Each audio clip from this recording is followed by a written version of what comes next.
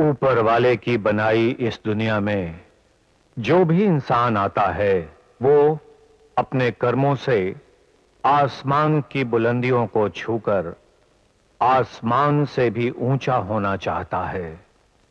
मगर वो ऐसा कभी नहीं कर पाता, क्योंकि जिसने इंसान और इस दुनिया को बनाया है, वही है आसमान से ऊँचा।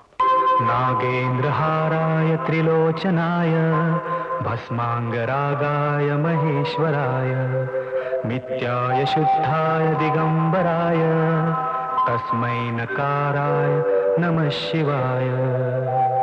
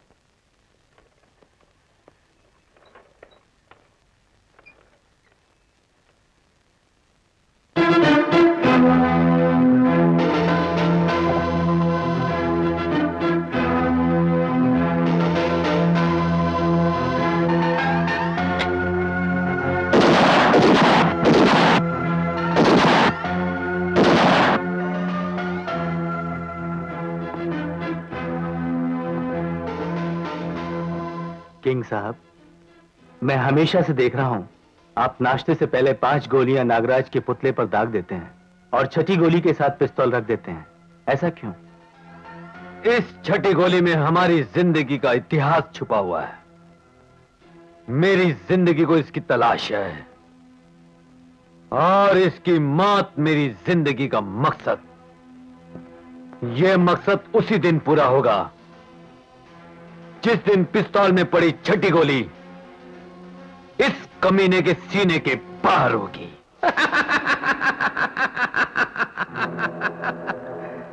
नागराज के सीने में गोली दफन करने का खौब लेकर जीने वाले सिर्फ़ खौबों में जीते हैं, खौबों में। हाँ और गिरते हैं मेरे पैरों में। किंग का अंजाम भी वही होगा, क्योंकि नागराज है मेरा नाम। नागराज। सांप का डसा बच सकता है लेकिन नागराज का नहीं।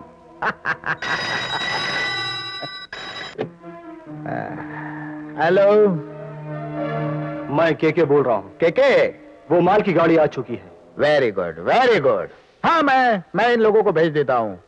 तुम माल गोडाउन नंबर सत्रह में पहुँचा दो। ठीक है।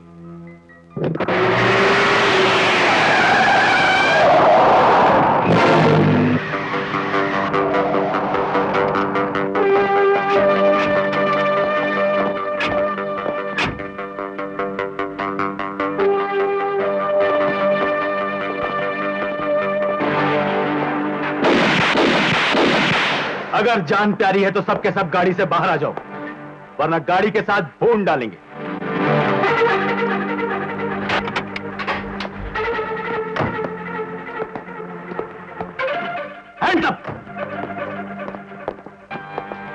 ये तो सब किन के आदमी है।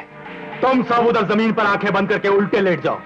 उस वक्त तक जब तक हमारी गाड़ियों की आवाज़ें तुम्हारे कानों से दूर नहीं हो जाती।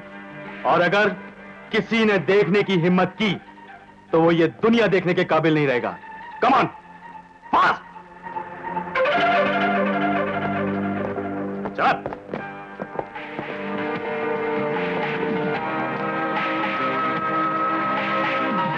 Let's go come on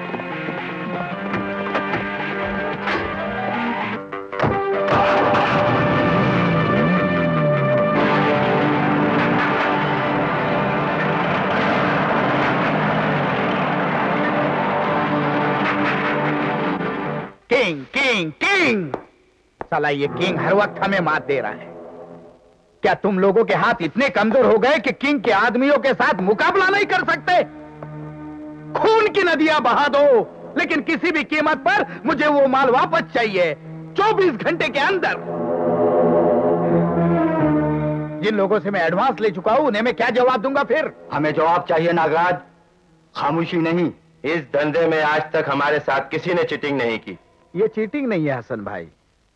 असल बात यह है कि ये माल किसी ने लूट लिया। लूट लिया? किसने? माल हमने लूटा है पॉल। कौन हो तुम? किंग।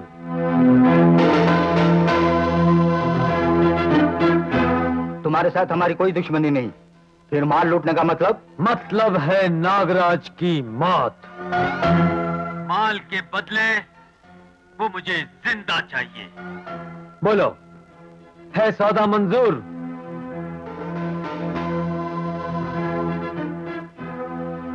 तुम लोग खामोश क्यों हो? खामोश ये लोग हैं मैं नहीं। मुझे सौदा मंजूर है। तो सुनो कल दोपहर दो बजे मड आइलैंड आ जाना। वहाँ इन लोगों का काम भी हो जाएगा और हमारा भी। याद रखना कल दोपहर दो बजे मड आइलैंड। लेकिन नागराज फ़िक्र मत करो हसन भाई। कल तुम्हें तुम्हारा माल मिल जाएगा। ठीक है। बाकी रहा किंग। तो कल मड आइलैंड पर उसकी ज़िंदगी और मौत का फैसला भी हो जाएगा।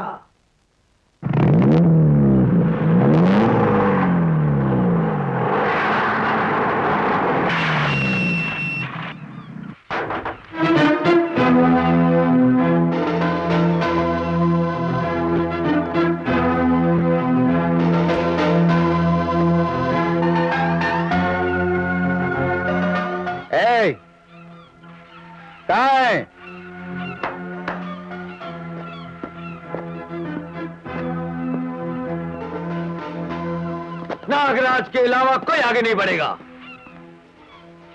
उन पत्थरों के पास मेरा आदमी सूटकेस रख देगा और नागराज को उठा लेगा।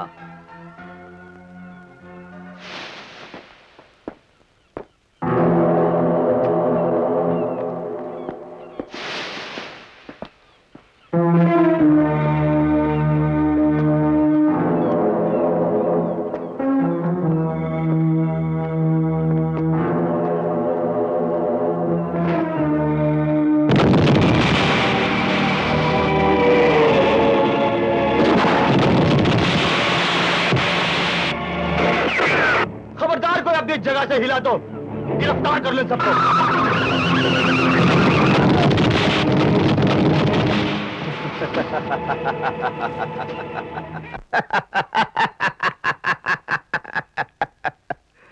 कौन हंस रहा है तुम्हारे इस हाल पर आ?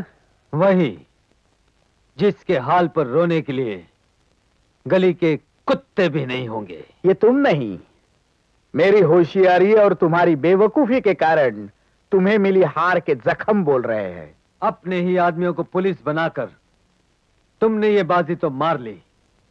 लेकिन नागराज, हमारा नाम भी किंग है। जरा वो बैग भी खोलकर देख लेना। तुम्हारी हार पर पहनाने के लिए हमने भी हार ही भेजी हैं। मगर जूतों के क्या बकते हो? एक बात याद रखना नागराज, किंग से जीतना तुम्हारे बस की बात नहीं। अब वो जूतों के हार तुम खुद भी पहनो और अपने साथियों को भी पहनाओ।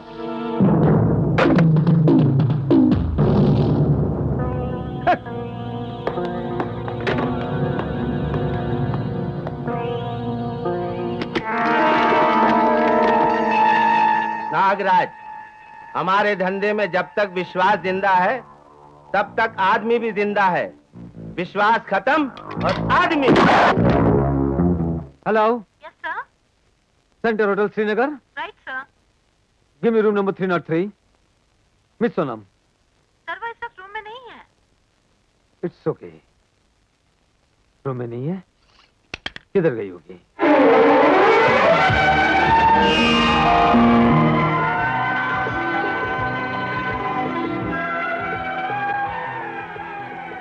जया इस पेड़ पर ये ढेर सारे आईने क्यों लगे हैं? ये आईने नहीं प्रेमियों की प्रेम मिलन की दास्तानें हैं। प्रेम मिलन की दास्तान? हाँ ये पेड़ तो सारे शहर में मशहूर है।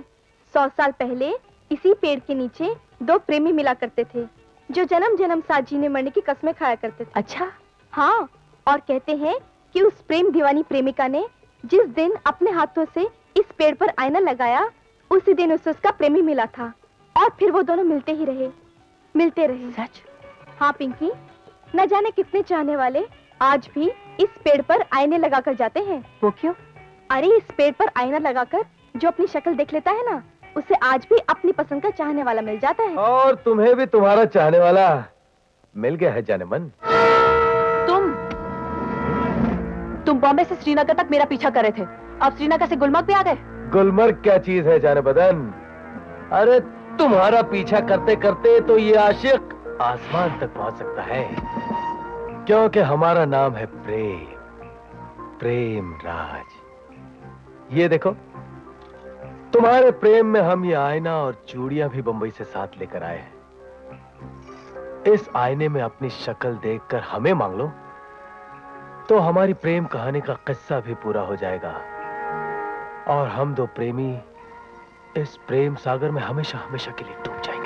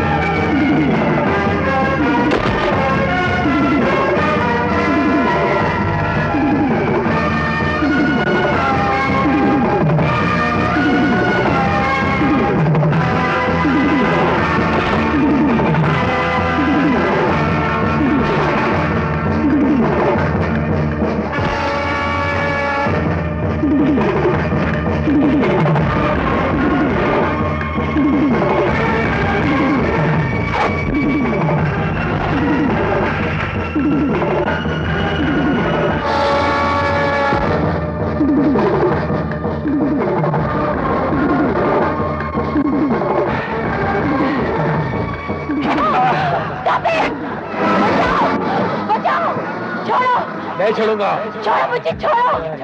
छोड़ो। बचाओ। छोड़ मुझे। छोड़ो मुझे। दिखा नहीं छोड़ूँगा। छोड़ो। कहती हूँ मुझे छोड़ो। बचाओ। बचाओ।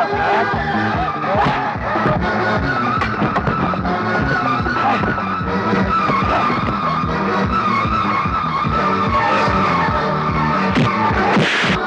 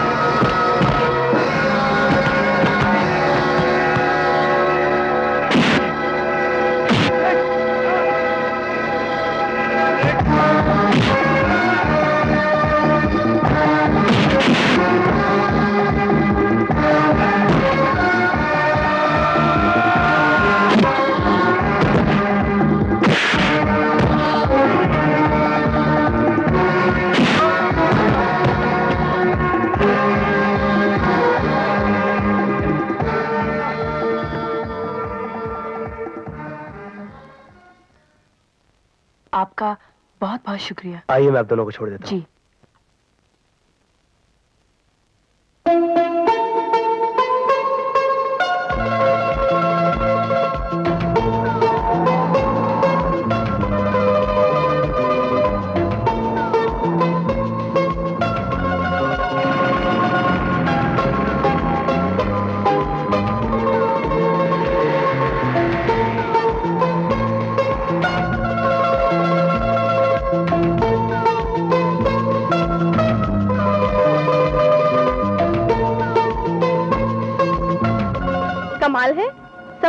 जा रहे हैं और कोई किसी से बात ही नहीं कर रहा। क्या बात करूँ? यही कि आपका नाम पता ठिकाना। जी मेरा नाम विक्रांत है। वैसे प्यार से मुझे सब विक्की कह के पुकारते हैं। मैं दिल्ली में रहता हूँ। और आप? मेरा नाम सोनम है। प्यार से सब मुझे पिंकी कहते हैं। मैं बम्बई में रहती हूँ। यहाँ कहाँ ठहरी है? Centaur hotel. Room number three zero three हाँ मैंने सिर्फ़ जगह पूछी थी। ड्राइवर पहले सेंट्रल होटल चलो।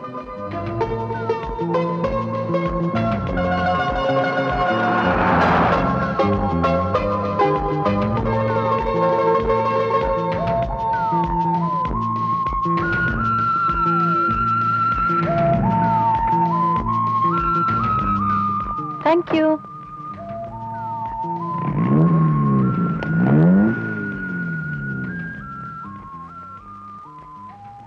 कमाल है। कुछ बोला भी नहीं। ऐसे ही चला गया।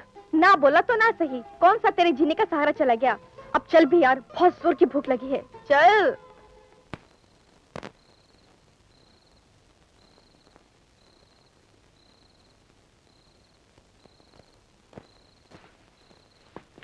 क्या बात है? आँखों में नींद नहीं या दिल तुम्हारे बस में नहीं? कहाँ खो गई हो? जया? हाँ। लड़का कमाल का था ना? लगता है बहुत शरीफ होगा। लड़के? और वो भी शरीफ? अरे छोड़ पिंकी छोड़। ये तो लड़की को पटाने की उनकी एक चाल होती है चाल। पहली मुलाकात में शरीफ और दूसरी मुलाकात में शुरू। लगता है हो गए शुरू। क्या बात कर रही हो तुम? वो भला क्यों फ़ोन करेगा? अंकल का फ़ोन होगा बॉम्बे से। हेलो नींद नहीं आ रही ना? कौन हो तुम? तुम्हारी नींद चुराने वाला। विक्की। विकी का फ़ोन है। देख ली शराफत। आगे आगे सुनिए कहता है क्या? इस तरह इतनी रात को फ़ोन करने का मतलब? रात कहाँ जाने मन। आज की चांदनी में तो हमारी दुनिया में पहली सुबह का जन्म हुआ है। और साथ साथ हमारे पहले पहले प्यार का भी। मैं फ़ोन रख रही हूँ। तुम फ़ोन नहीं रख सकती पिंकी। क्योंकि तुम्हारी आवाज़ में भी वही दर्द है जो मेरे सीने में है। और जब तक तुम मिलने का वादा नहीं करोगी मैं फ़ोन नहीं रखूँगा। कोई ज़बरदस्ती है क्या? ज़बरदस्ती नहीं जाने मन। मोहब्बत है मोहब्बत। और मोहब्बत में कोई ज़बरदस्ती नहीं होती।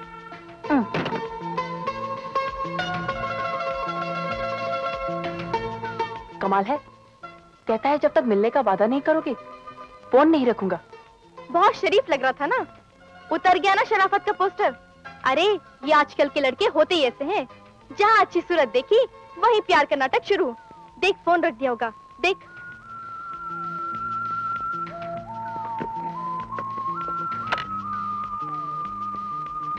हेलो? क्या फैसला किया डार्लिंग? ओह गॉड ये तो हाथ में लिए बैठा है। अरे छोड़ पिंकी। चल हनुमान चालीसा पढ़ के सो जाते हैं।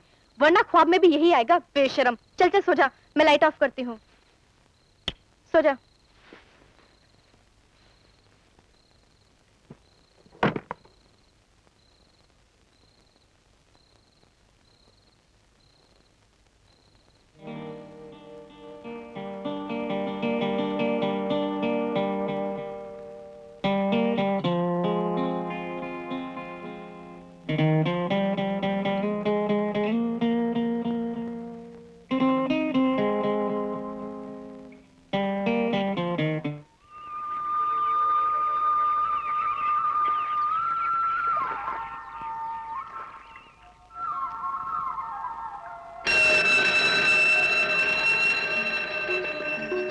जब तक तुम मिलने का वादा नहीं करोगी मैं फ़ोन नहीं रखूँगा।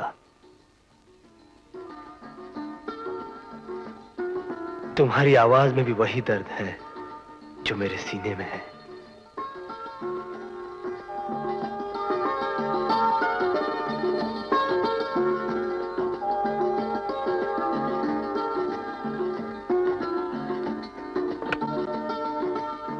Hello good morning Pinku ji Vicky क्या तुम?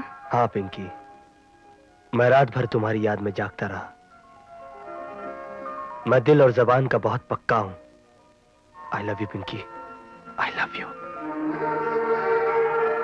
अगर यकीन नहीं आता तो आज 11 बजे सोनमर्ग आकर देख लेना।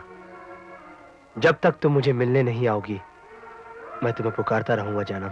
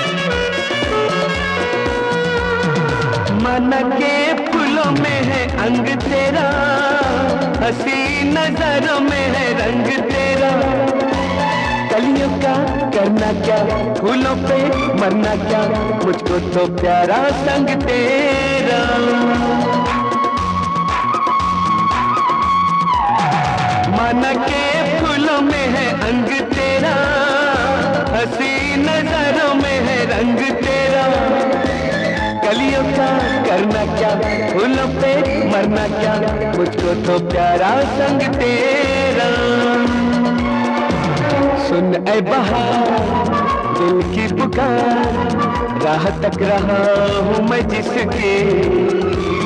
आएगी ना वो सामने जब तक आवाज़ देता रहूँगा। एक भी सांस हो सीने में जब तक आवाज़ देता रहूँगा। हो जा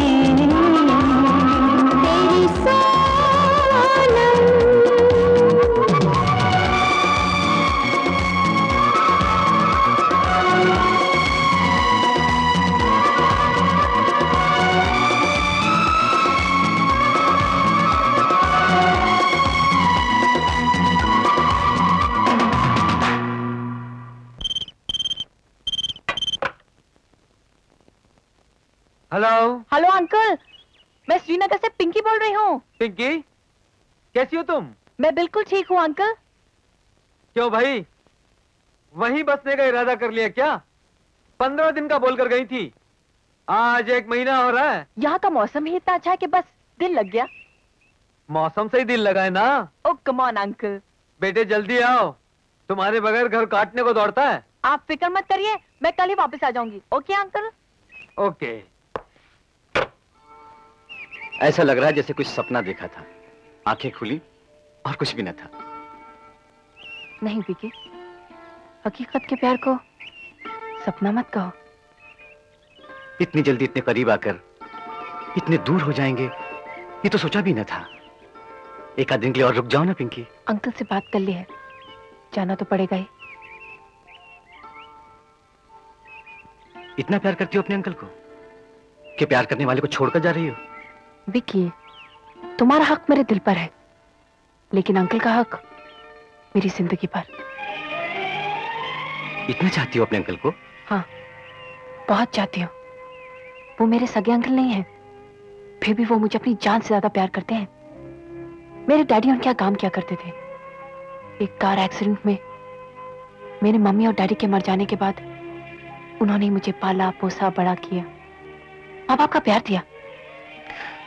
इसका मतलब तुम्हारे अंकल उन लोगों में से हैं जो कुछ ना होते हुए भी। सब कुछ होते हैं। हाँ विकी। बहुत अच्छे मेरे अंकल। तुम जब मिलोगे ना तो तुम भी हमेशा याद रखोगे। अरे अब तो ज़रूर मिलना पड़ेगा। अपने इस प्यार को शादी के बंधन में बांधने की परमिशन लेने के लिए इस बंदे को दिल्ली से बंबई उड़ना ही पड़ेगा। ओह कितनी गर्मी है यहाँ। चलो जाओ मैं तुम्हें छोड़ देती हूँ। थैंक यू पिंकी मैं अपनी गाड़ी से चल Okay. जाती हूँ। Bye bye. See you bye आ आ, कौन है तुम लोग?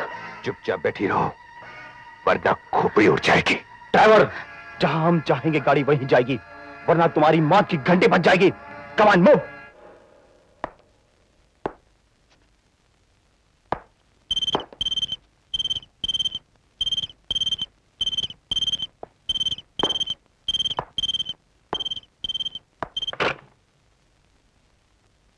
hello Nagraj.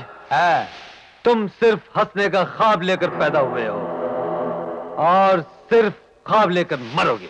और तुम भी मुझे मारने का खौफ देखते देखते मर जाओगे किंग। किंग को ऊँची आवाज़ पसंद नहीं है नागराज। ए, ऊँची आवाज़ पसंद नहीं तो ले ये नीची आवाज़ सुन। इसे सुनकर तेरा बोलने का अंदाज ही बदल जाएगा। सुन। अंकल ये लोग कौन है अंकल?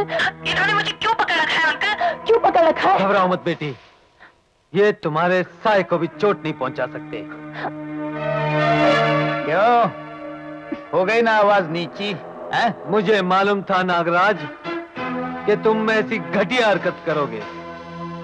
लेकिन तुम भूल गए कि तुम्हारी टक्कर किसी और से नहीं किंग से हुई है। ए किंग! मैं तुम्हारी तुम मेरा कुछ नहीं बिगाड़ सकते।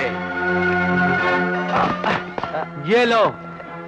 अब एक आवाज़ तुम भी सुनो। डैडी। डैडी ये लोग मुझे मार डालेंगे। मुझे बचा लो। मुझे बचा लो डैडी। तुम कहाँ से बोल रहे हो बेटे? मैं... मौत के पंजे से। अब बोलो। तुम छुड़ाना चाहते हो इसे या मिटाना? क्या चाहते हो तुम? महाकाली कब्रिस्तान पर तुम भी अकेले आओगे और हम भी अकेले आएँगे। तुम अपना सपोला ले जाना और हमारी बेटी दे जाना। और सुनो, अकेले ही आना, अपने साथ अपने पिल्लों को मत लाना। ठीक ग्यारह बजे।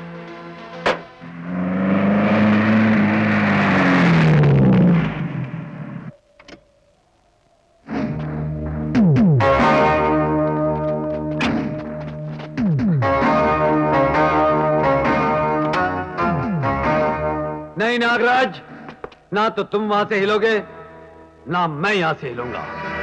अदला बदली सिर्फ़ प्रेम और पिंकी की होगी। तुम्हारा बेटा यहाँ से चलेगा और हमारी पिंकी वहाँ से चलेगी।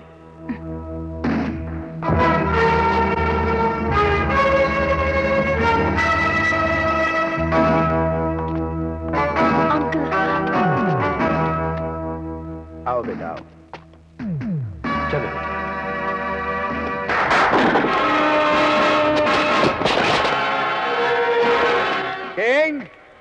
आज तुम्हारा हमारा हिसाब किताब इसी कब्रस्तान में हमेशा के लिए खत्म हो जाएगा। वाह तुमने भी अपने मौत के लिए क्या जगह ढूंढी है यार? जगह अपनी मौत के लिए नहीं नागराज। तुम्हारी मौत के लिए ढूंढी है। अच्छा। तुम्हारी ताली पर तुम्हारे कुत्ते बाहर आए थे। अब मेरी ताली पर तुम्हारी मौत के फरिश्ते बाहर आएँगे।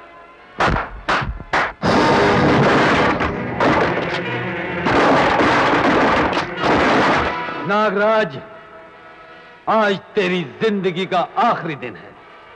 इस पिस्तौल की छठी गोली तेरे सीने के आर पार होगी और तू इसी कब्रिस्तान में दफन हो जाएगा। नागराज का सीना इतना कमज़ोर नहीं किंग जो तुम्हारी गोली का निशाना बने। मुझे मालूम था तुम इस तरह की घटिया हरकतें करोगे लेकिन नागराज ने भी कच्ची गोलियाँ नहीं खेली है। ये रिमोट कंट्रोल है। इसके छोटे से बटन से फटने वाला छोटा सा बम तुम्हारी प्यारी प्यारी गुड़िया के छोटे से पर्स में। है। ए, नहीं नहीं। हाथ नहीं लगाना पर्स को। बटन दबा दूँगा। हाँ। मिस्टर किंग हैं? अपने इन पिल्लों से कहो कि दूर हट जा हमसे। जल्दी!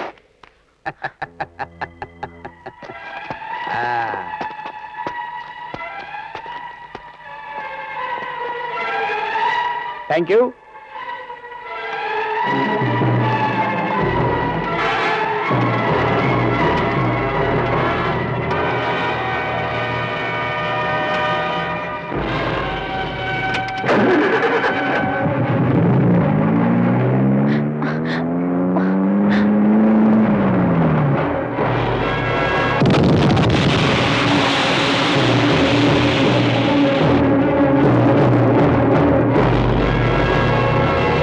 शहर में दिन दहाड़े गोली चलने की खबरें नहीं। हमारी वर्दियों पर कलंक छप रहे हैं। अखबारों की हेडलाइंस हमारे डिपार्टमेंट को बदनाम कर रही हैं। लेकिन सर हम पूरी कोशिश कर रहे हैं। कोशिश? पुलिस की डिक्शनरी में कोशिश नाम की कोई चीज़ नहीं। कोशिश वही कहलाती है जो कामयाब होती है। जवाब दो आखिर कब तक? कब तक इस तरह कानून टूटते रहेंगे? मगर सर? लगता है इस शहर को संभालना तुम लोगों के बस के बाहर की बात है। अब हमें भी मजबूर होकर उस ऑफिसर को बुलाना पड़ेगा। जिसे हद स्टेट बुलाती। मगर सर इसकी ज़रूरत क्या है? जब लोहा लोहे से नहीं कटता तो उसे आग में तपाकर काटा जाता है। और ऐसी ही आग का नाम है इंस्पेक्टर मलिक जो आजकल दिल्ली के मुजरिमों के लिए कानून की दहकती आग बना हुआ है। और उसका रिकॉर्ड है कि उसने आज तक किसी भी मुजरिम की कलाई में अपने हाथ से हथकड़ी नहीं पहनाई बल्कि मुजरिमों ने घबराकर खुद हथकड़ियाँ पहन ली। ये क्या बदतमीजी है मलिक साहब? ये बदतमीजी नहीं हकीकत है गोगा। क्या मतलब है तुम्हारा? तुम्हारी गिरफ्तारी। अपने आप को कानून के हवाले कर दो गोगा।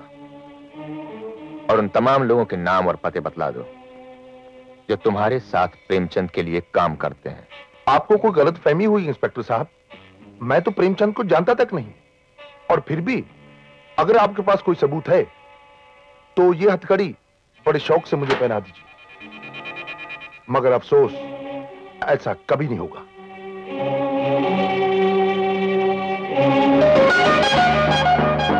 एक बात गौर से सुन लो गोगा। हमने अपने हाथों से आज तक कभी किसी मुजरिम को हथकड़ी नहीं पहना। मगर हम उसे इतना मजबूर कर देते हैं कि वो खुद ब खुद अपने हाथों से हथकड़ी पहन आज रात 11 बजे। वो भी पुलिस स्टेशन में आकर तुम खुद ब खुद अपने हाथों से यही हथकड़ी पहनोगे। पागल है वो इंस्पेक्टर। और मैंने भी अगर उसका पागलपन दूर ना किया तो मेरा नाम प्रेमचंद कोचर नहीं। खैर, उसको तो मैं बाद में देख लूँगा। पहले तुम ये बताओ कि आज रात जो माल उतरने वाला है, उसका बंदोबस्त हो चुका है?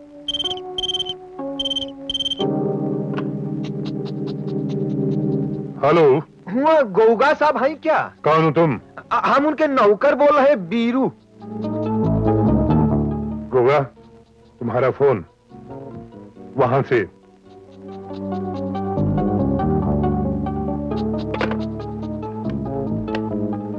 हेलो कौन? गोगा हम इंस्पेक्टर मलिक बोल रहे हैं। तुमने जो प्रेम के माल के बारे में पता और समय बताया उसमें कोई हेर फेर या रद्दबदल तो नहीं है ना? कौन सा पता? कैसा पता? क्या मतलब है? घबराओ नहीं गोगा। हमें मालूम है प्रेम कोचर तुम्हारे सामने खड़ा है। हम तुमसे जो भी सवाल पूछे उसका हाँ या ना में जवाब दो। अच्छा सुनो।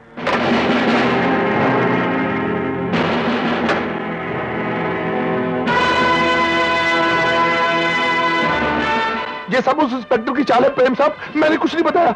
मैंने कुछ नहीं बताया। मुझे मत मारिए। अब मैं तुम्हारी कोई बात नहीं सुनूँगा। तुम्हारी हाँ या ना का जवाब सिर्फ़ गोली देगी। अबे भागता है? शक्ति दो। इस को।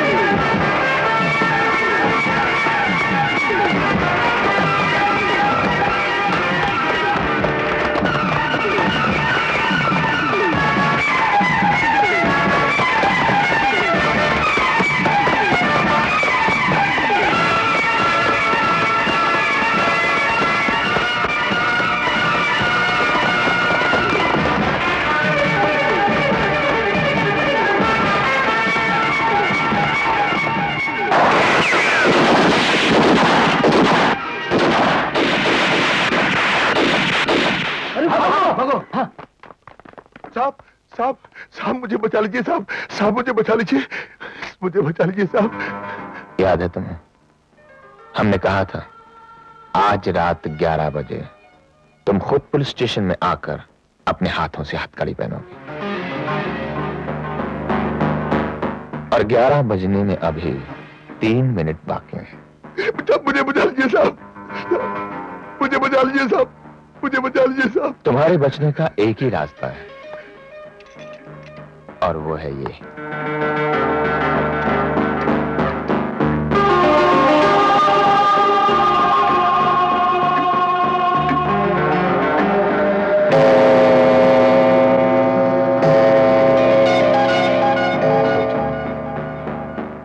बाहर मौत तुम्हारा इंतज़ार कर रही है। फैसला तुम्हें करना है।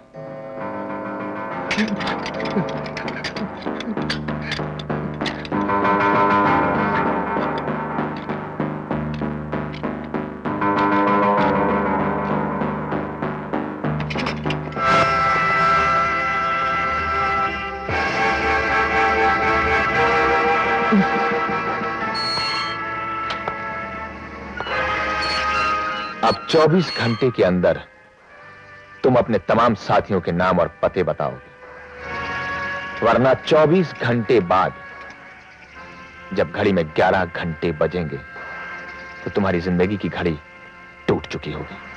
बता दूँगा मैं। मैं सब कुछ बता दूँगा। सब कुछ बता दूँगा। क्या कह रहे हो शक्ति? मैं ठीक कह रहा हूँ प्रेम साहब। गोगा ने इंस्पेक्टर मलिक को हमारे तमाम अड्डों का पता बता दिया है। पिछले 12 घंटों में उन तमाम अड्डों पर रेड पड़ चुकी है और हमारे बहुत से आदमी पकड़े जा चुके हैं। अब सिर्फ़ यही एक जगह बची है। शक्ति पुलिस यहाँ तक पहुँच सकती है मगर मुझ तक नहीं। चलो Raghu!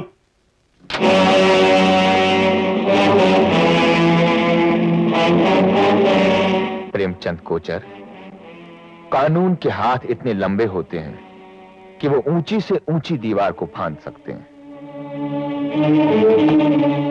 You are under arrest मैं कहता हूँ इंस्पेक्टर मेरा रास्ता छोड़ दो। शेर अपने शिकार को छोड़ सकता है। मगर हम मुजरिम को कभी नहीं छोड़ते। तुम्हारे लिए सिर्फ़ यही एक रास्ता है।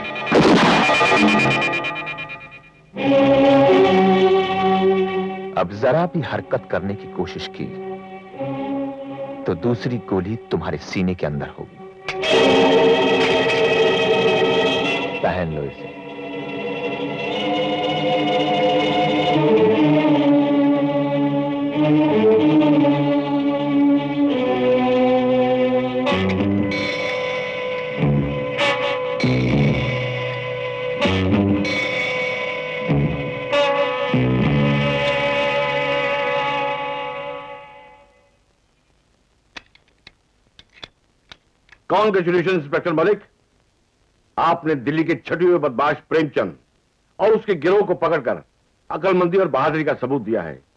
डिपार्टमेंट को आप जैसे जांबाज ऑफिसर पे फख्र है। हमने तो सिर्फ़ अपना फ़र्ज़ निभाया है जो हमारा धर्म है सर। सरकार ने आपके कंधों पर एक और ज़िम्मेदारी डाली है। आपने बंबई के खतरनाक मुजरिम किंग का नाम तो सुना होगा? अच्छी तरह सुना है सर। गुड सरकार ने आपको डीसीपी बनाकर किंग और उसके गिरोह को खत्म करने के लिए बंबई भेजने का फैसला किया है। ये रहे आपके transfer order paper and with that wish you all the best thank you sir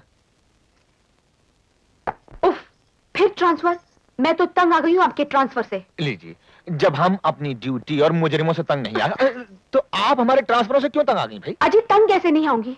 अभी इस शहर से थोड़ी बहुत जान पहचान हुई नहीं कि फिर आपके ट्रांसफ़र का ऑर्डर आखिर हद होती है ट्रांसफरों की। हाँ हाँ। देखो भली मानस तुम्हारे इस तरह चिल्लाने से या गुस्सा करने से ट्रांसफ़र तो रुकेगा नहीं। इसलिए हम दोनों की भलाई इसी में है कि तुम सामान बांधो और चलने की तैयारी करो। डैडी क्या फिर से होगा ट्रांसफ़र? अरे बेटे तू बड़े अच्छे वक्त पर आ गया। हाँ हाँ गया। ट्रांसफ़र का हवाई जहाज़ बंगाल से भोपाल भोपाल से नागपाल नागपाल से त्रिवेंद्रम त्रिवेंद्रम से त्रिपुरा त्रिपुरा से कच्चीपुरा कच्चीपुरा से मणिपुरा मणिपुरा से बैंगलोर बैंगलोर से बैंगलोर वहाँ से पालम। अब पालम से कहाँ उतरेगा? मेरे सर पे उतरेगा। नहीं नहीं बेटे Santa Cruz. Santa Santa Cruz! I love Bombay hello hi Pinky मैं विक्की बोल रहा हूँ। ओ विक्की कहाँ से बोल रहे हो तुम? तुम्हारे दिल से। क्या? अरे जब मोहब्बत करने वालों के दिल मिल जाते हैं तो आवाज़ जुबा से कहा? दिले से निकलती है मेरी जान। पर इस तरह अचानक की फ़ोन? वो क्या है कि ज़िंदगी में जो चीज़ भी अचानक होती है ना वही हिट होती है। जिस तरह तुम मुझे मिली अचानक। फिर मेरे दिल में बसी अचानक फिर चलेगी अचानक। फिर मेरी किस्मत खुल गई अचानक। और आज शाम की फ़्लाइट से ये बंदा बॉम्बे आ रहा है। वो भी अचानक। पर शाम को तो कोई फ़्लाइट नहीं आती मिस्टर अचानक। अरे नहीं आती तो क्या है? हाँ? अरे प्यार करने वाले मोहब्बत के पंख लगा के आ जाते हैं अचानक। ओ विकी मज़ाक मत करो। यकीन नहीं आता तो नज़रें उठा के देख लो। अगर हमारी मोहब्बत का हवाई जहाज़ अखियों के झरोकों से उड़ता हुआ आपके दिल के एयरपोर्ट पर लैंड ना कर जाए तो हमारा नाम भी प्यार का पायलट नहीं।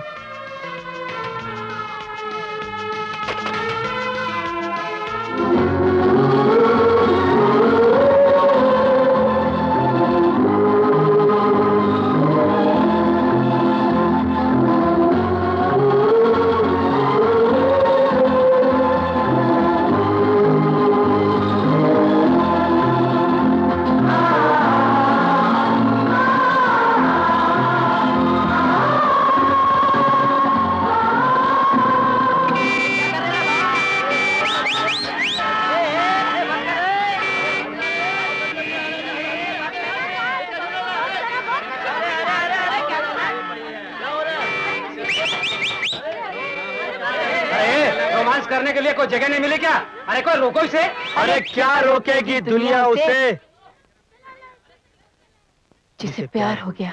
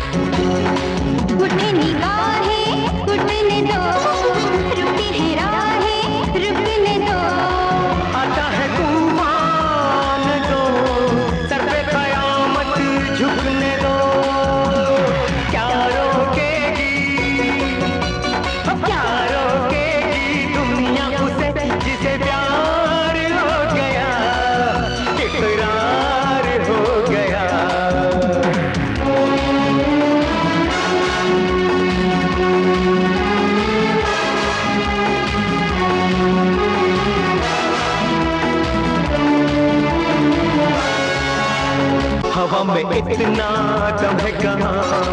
फूल से भंवरा जुदा करे। हवा में इतना दम है कहाँ? फूल से भंवरा जुदा करे।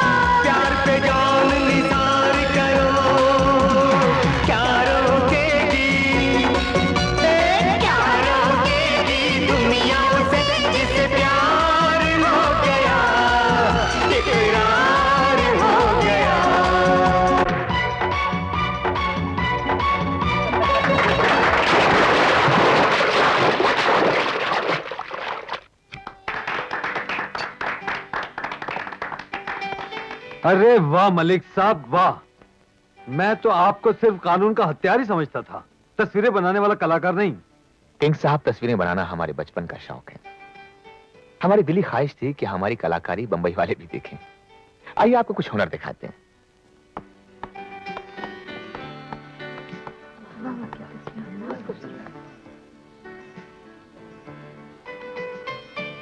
वाह मलिक साहब वाह। शुक्रिया।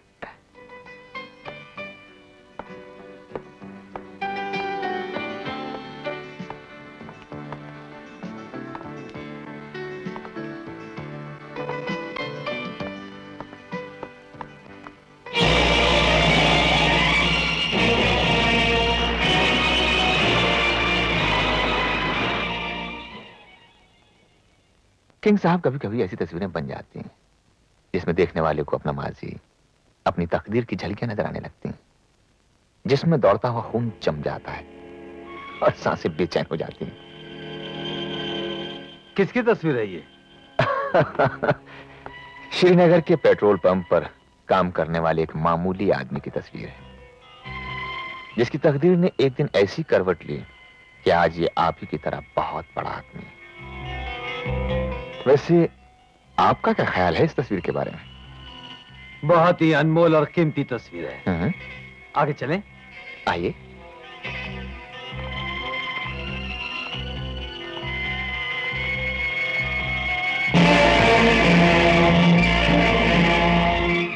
ये तस्वीर यहाँ पर मैंने लगाई है। ये भी आप ही की तरह। एक जाबाज पुलिस ऑफिसर था। दिनेश ठाकुर था इसका नाम। हाथ में पिस्तौल, सीने पर वर्दी और जबान पर कानून की किताब लिए बहुत उछलता था। मगर एक दिन ऐसी गोलियाँ चली कि बेचारा हमेशा के लिए खामोश हो गया।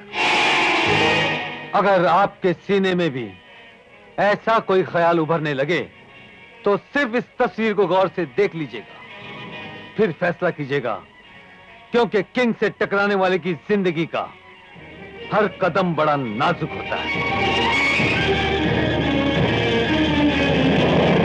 हमारा मकसद हल हो चुका है। तुम पेट्रोल भरने वाले वही किशन हो जो आज किंग बने बैठे हो। फैसला तो हम कर ही चुके हैं। सबूत हाथ लग जाने तो किंग। हम तुम्हें मिटाकर ही दम लेंगे। ये है जॉन। कल रात ये सिंगापुर से बंबई पहली बार आ रहा है। ब्राउन शुगर कोकीन चरस और गांजे की डिलीवरी लेने। अगर ये पकड़ लिया गया तो किंग हमारे कानूनी शिकंजे से बच नहीं सकता। ऐसा ही होगा सर। किंग अब जॉन के साथ जेल की सलाहें देनेगा फ़्लाइट कितने बजे आ रही है? कल रात दो बजे।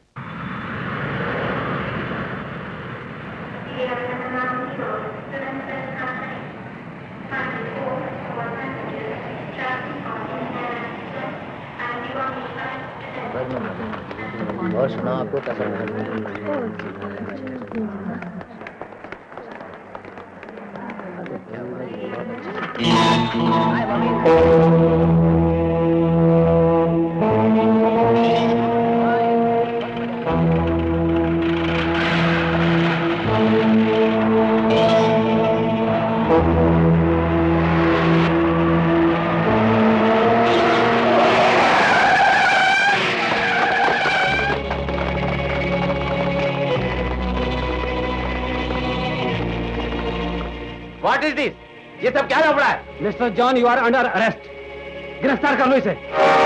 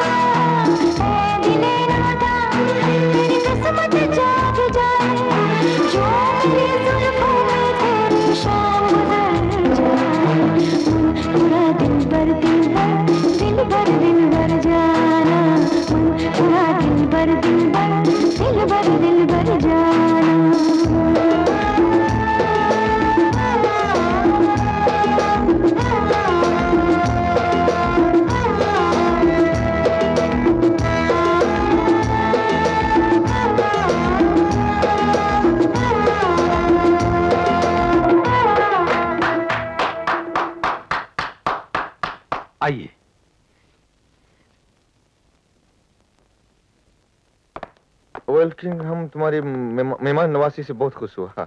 वाई नॉट बिज़नेस की बात करें किंग हाँ हाँ क्यों नहीं? आइए। बैठिए। Thanks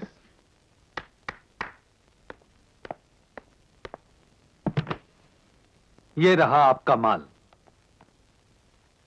I don't mind check करना माँगता हूँ। हाँ हाँ ज़रूर।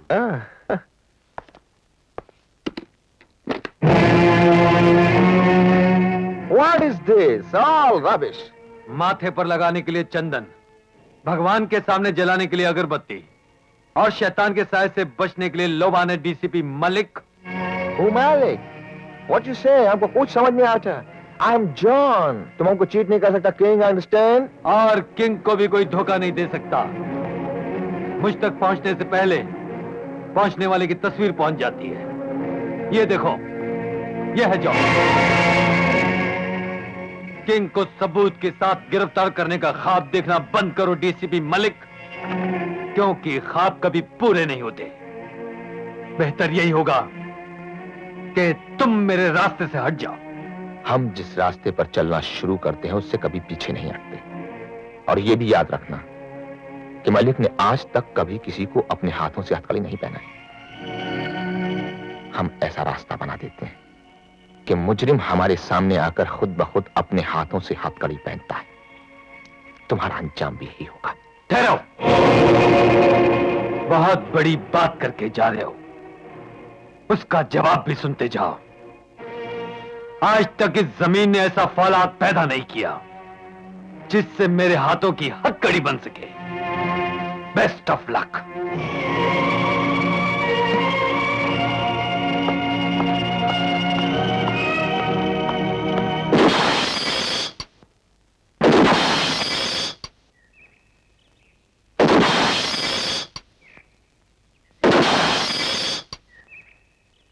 अजी किसी मुजरिम पर निशाना कमज़ोर पड़ गया है क्या?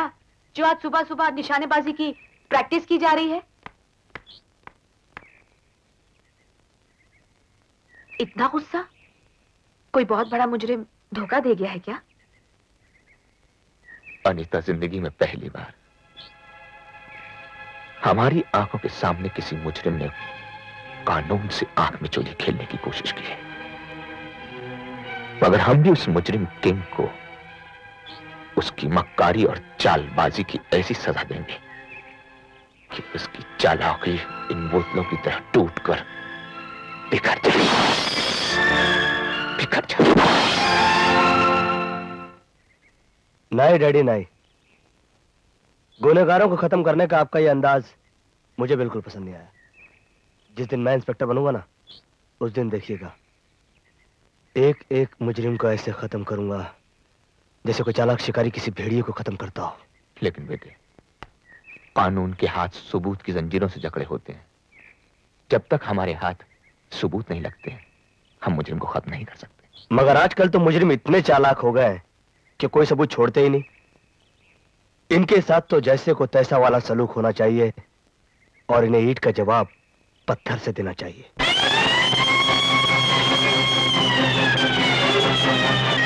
चलो, उतरो सब। चलो कोने कोने की तलाशी लो।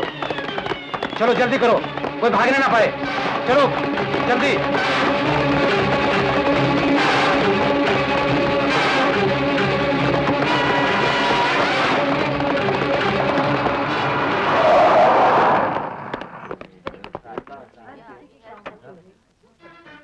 किंग साहब अखबारों में आपके बारे में जो गलत अफवाहें छप रही हैं क्या वो सही हैं? आपके ऑफ़िस में पढ़ने वाली रेट्स और आपके बारे में जो अफवाहें फैली हैं इस बारे में कुछ कहेंगे आप?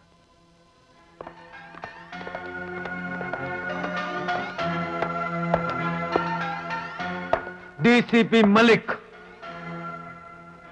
आइए आइए जनाब।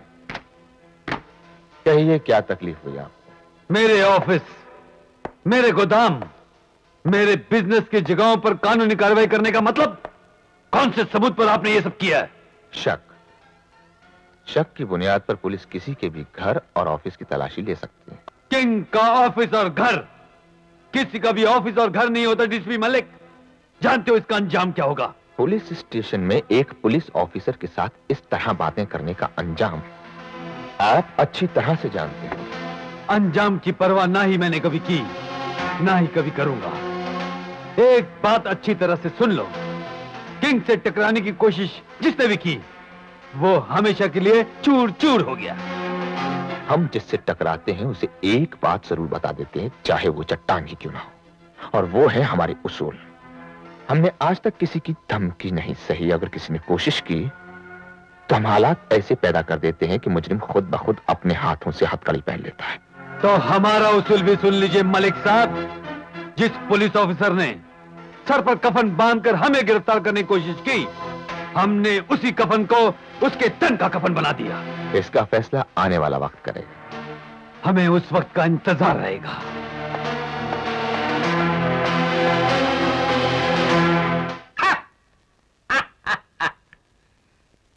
फंस गया किंग मलिक के जाल में। अब इन दोनों की दुश्मनी का फ़ायदा मैं उठाऊँगा मैं। मलिक साहब आपने तो शहर में आते ही जुर्म का जीना मुश्किल कर दिया है। अब आप ये बताइए कि आपका अगला कदम क्या है? उस चालाक मुजरिम की गिरफ्तारी जो कानून की आँखों में धूल झोंक कर शराफत की चादर ओढ़े समाज में घूम रहा है। हमें यकीन है सहता जी इस वक्त भी वो ज़रूर हमारा इंटरव्यू देख रहा हो मतलब आप उसे जानते हैं? अच्छी तरह से। लेकिन दुनिया उसे एक शरीफ शहरी समझती है। सबूत ना होने की वजह से वो आज तक कानून की गिरफ्त से बचा। लेकिन हम उसे बहुत जल्द सबूत के साथ मुजरिम और देशद्रोही साबित करते हैं उसकी गिरफ्तारी हमारी सबसे बड़ी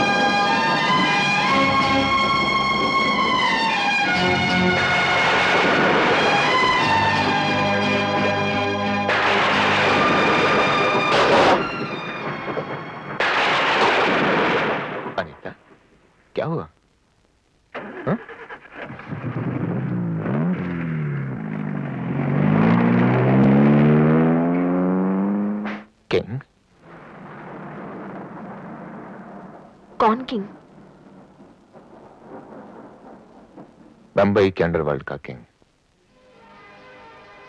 देशद्रोही, स्मगलर। जिसको खत्म करने के लिए सरकार ने मुझे दिल्ली से बंबई भेजा। माँ, तकदीर मुझसे ये कौन सी परीक्षा ले रही है?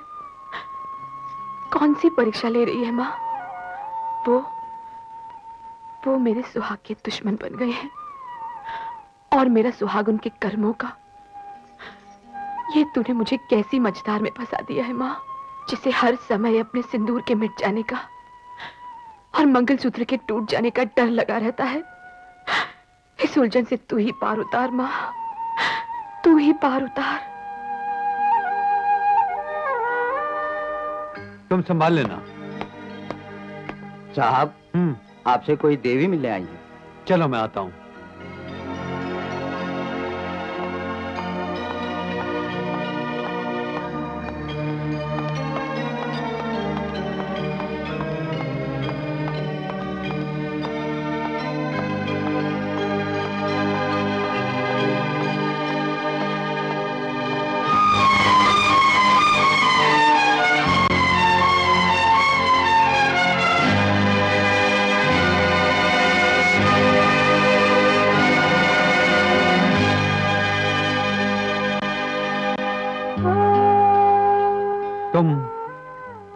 यहाँ किस लिए आई हो? इसलिए कि कहीं तुम्हारे हाथ ऐसा जुर्म न कर बैठे कि पश्चाताप की आग तुम्हारी सजा बन जाए। जिस आग में मैं जल रहा हूँ क्या उससे भी बड़ी आग है इस दुनिया में? हाँ है। मेरे पति की चिता की आग जिसे तुम जलाना चाहते हो। मैं तुमसे भीख मांगती हूँ किशन। मेरे सुहाग पर कभी आँच ना आने देना। खामोश क्यों हो? बोलते क्यों नहीं? मुझे अफसोस है अनिता। आज भी तुम इस किशन को ना समझ सकी। जिसने तुम्हारी मुस्कुराहट को अपनी ज़िंदगी समझाओ क्या वो तुम्हारा सुहाग उजाड़ेगा? किशन। विश्वास रखो अनिता। मेरे हाथों तुम्हारे सुहाग की हत्या नहीं। हमेशा रक्षा होगी।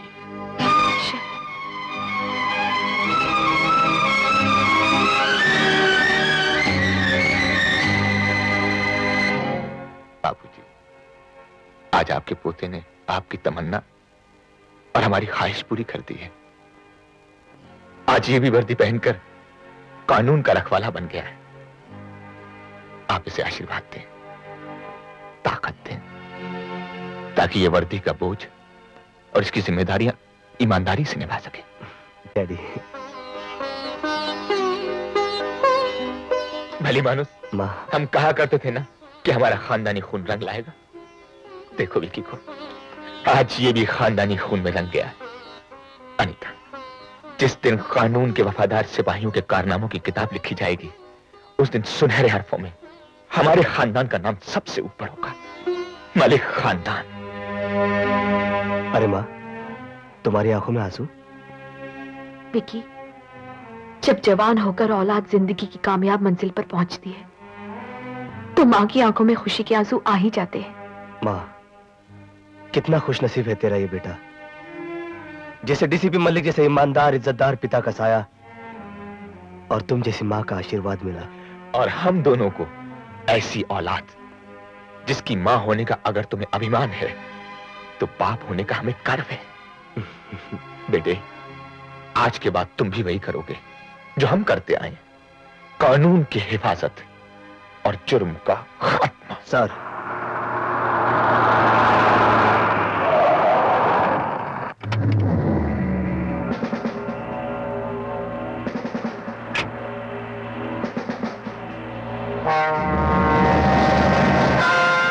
मिस्टर रानी मेरे होते हुए तुम हिंदुस्तान छोड़कर नहीं भाग सकते। मेरे पास तुम्हारी गिरफ्तारी का वारंट है। यू आर अंडर अरेस्ट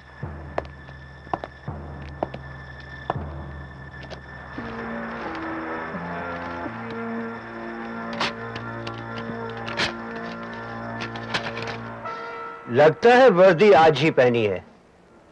देखो बच्चे, तुम्हारे डिपार्टमेंट की हर लकड़ी की कुर्सी मेरे लोहे के टुकड़ों से दबी हुई है। तुम तो क्या? हिंदुस्तान से बाहर जाने के लिए मुझे कोई रोक नहीं सकता।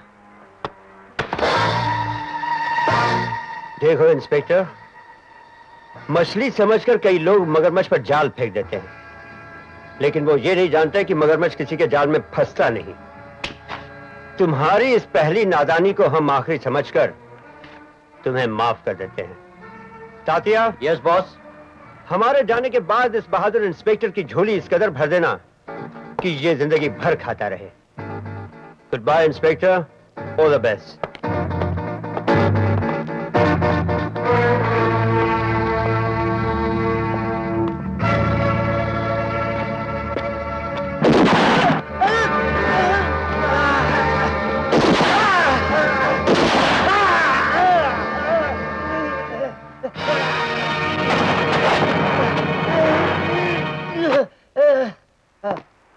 ये क्या किया मलिक? तुमने रोनी को मार डाला? रोनी के पाप का घड़ा इतना भर चुका था कि उसे फूटना ही था। इसे पंद्रह बार पुलिस डिपार्टमेंट ने पकड़ा और ये पंद्रह बार कोर्ट से छूट गया। यहाँ तक कि वफादार पुलिस ऑफिसर का खून करके ये बड़ी आसानी से छूट गया था। मगर आज के बाद इस तरह का कोई भी गुनहगार मेरी कोर्ट से नहीं छूट पाएगा। क्या? रोनी को मार डाला? कौन है वो इंस्पेक्टर?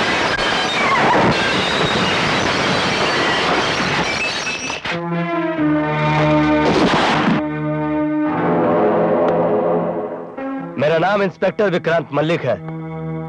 कोई भी अपनी जगह से नहीं हिलेगा Premraj you are under arrest अच्छा। तो तुम ही वो इंस्पेक्टर हो जिसने रोनी को अपनी गोली का निशाना बनाया। जी हाँ। और अगर आप भी मेरे साथ सीधी तरह पुलिस स्टेशन नहीं चले तो आपका अंजाम भी वही होगा।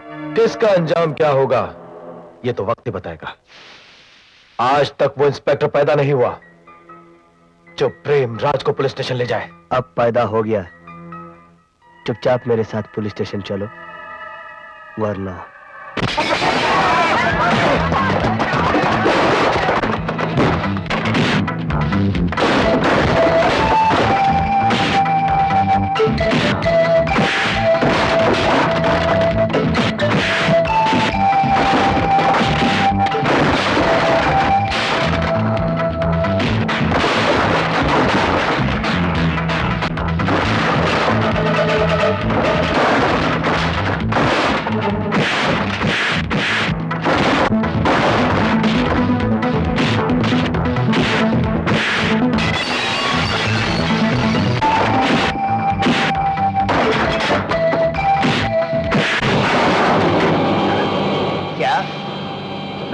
का बेटा और कानून का कैदी।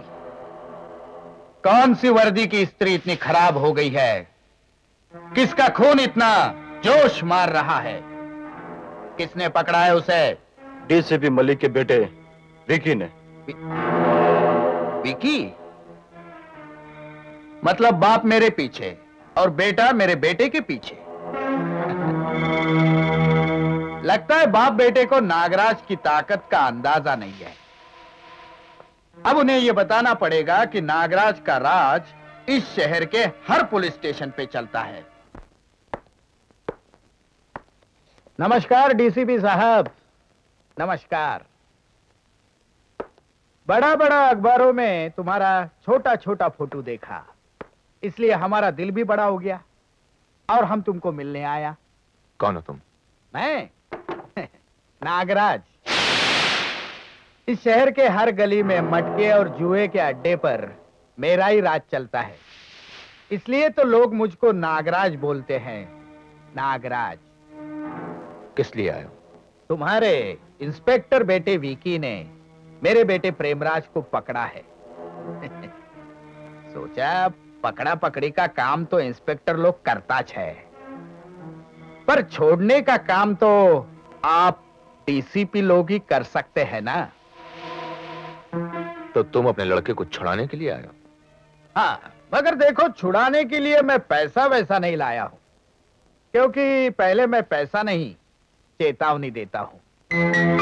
बाद में थोड़ी सी धमकी। देखो डीसीपी साहब, आपका भी बच्चा है, मेरा भी बच्चा है। और बच्चों बच्चों में बचपना तो होता ही रहता है। लेकिन हम बड़े लोग समझदार हैं। और फिर अपनी अपनी संतान तो सबको प्यारी होती है। आपको भी मेरे को भी।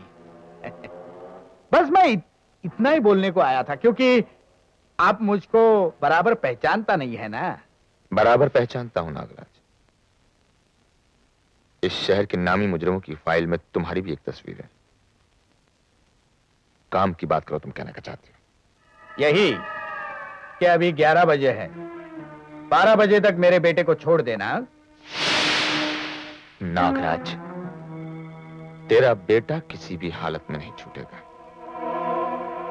डीसीपी साहेब, अगर आप जीत करके आंकड़ा रहा ना तो ये नागराज तुम्हारे बेटे को डस लेगा।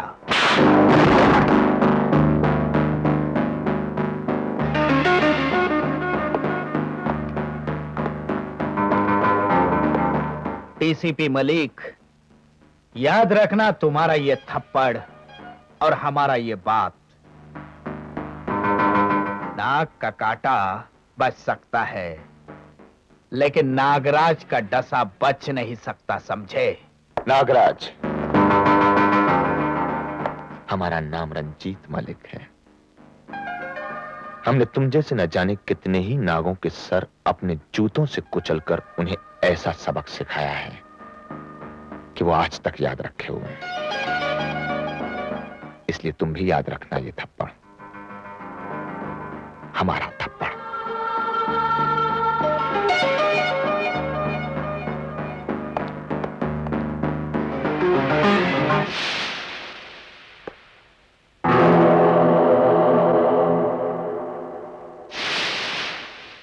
टीसीपी मलिक तेरे उस थप्पड़ का निशान तो मेरे गाल पर नहीं रहा। लेकिन उस बेइज्जती का एहसास मेरे खून के हर कतरे में दौड़ रहा है। जब तक मैं तेरा खून बहाकर तुझे मौत की नींद नहीं सुलाऊँगा तब तक मुझे चैन से नींद नहीं आएगी। Hello DCP Malik speaking Malik साहब मलिक साहब। आज रात को दो बजे बेलॉट पियर में किंग का पाँच करोड़ का ब्राउन शुगर उतरने वाला है। गाड़ी नंबर है M S seven seven seven कौन हो तुम? कहाँ से बोल रहे हो? पुलिस का दोस्त किंग का दुश्मन। याद रखना रात को दो बजे बेलॉट पियर में। गाड़ी number M S seven seven seven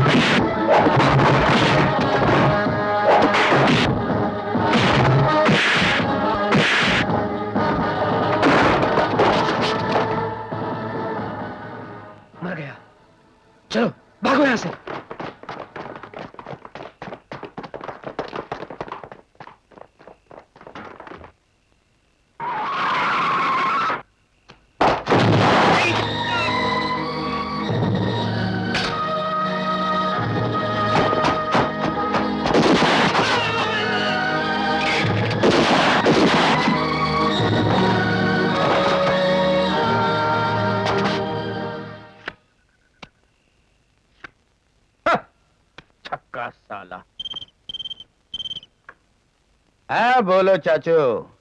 खत्म कर दिया ना उस डीसीपी मलिक को। खत्म तो अब तुम होगे नागराज। तुम्हारे भेजे हुए भाड़े के टट्टुओं की गोलियों में इतना दम नहीं था जो मलिक के सीने तक पहुँच सके। किंग तुम? हाँ हम। एक बात साफ़ साफ़ सुन लो नागराज। अगर मलिक ने अस्पताल में दम तोड़ दिया तो तुम्हारी ज़िंदगी की साँसें भी टूट जाएँगी। प्रार्थना करो अपनी ज़िंदगी के लिए और डीसीपी मलिक के लिए भी।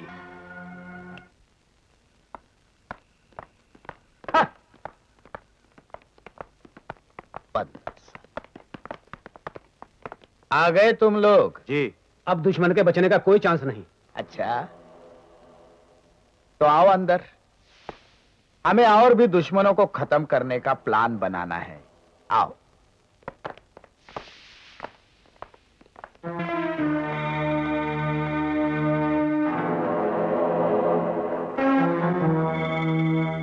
गए ये लोग।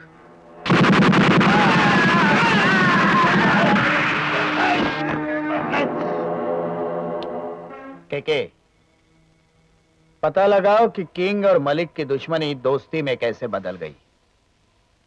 क्यों बचाया उसने मलिक को?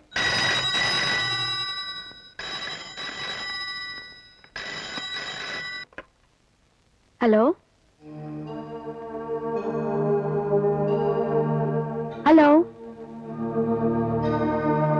अरे कोई बोलता क्यों नहीं? मैं तुम्हारी ज़िंदगी की भूली हुई किताब का एक अक्षर बोल रहा हूँ किशन? हाँ नु तुमने तुमने फ़ोन क्यों किया? मैं मैं तुमसे मिलना चाहता हूँ नु लेकिन मैं तुमसे नहीं मिल सकती किशन। आज शाम मैं तुम्हारा इंतज़ार करूँगा। नहीं हर किस नहीं। मैं नहीं आ सकती। लेकिन मैं तुम्हारा इंतज़ार करूँगा। ठीक चार बजे। Hotel blue diamond room number nine zero nine.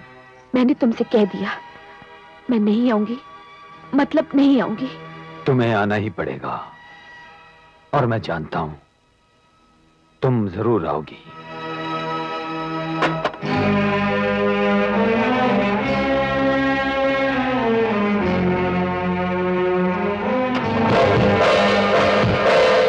मैं तुम्हारी ज़िंदगी की भूली हुई किताब का एक अक्षर बोल रहा हूँ।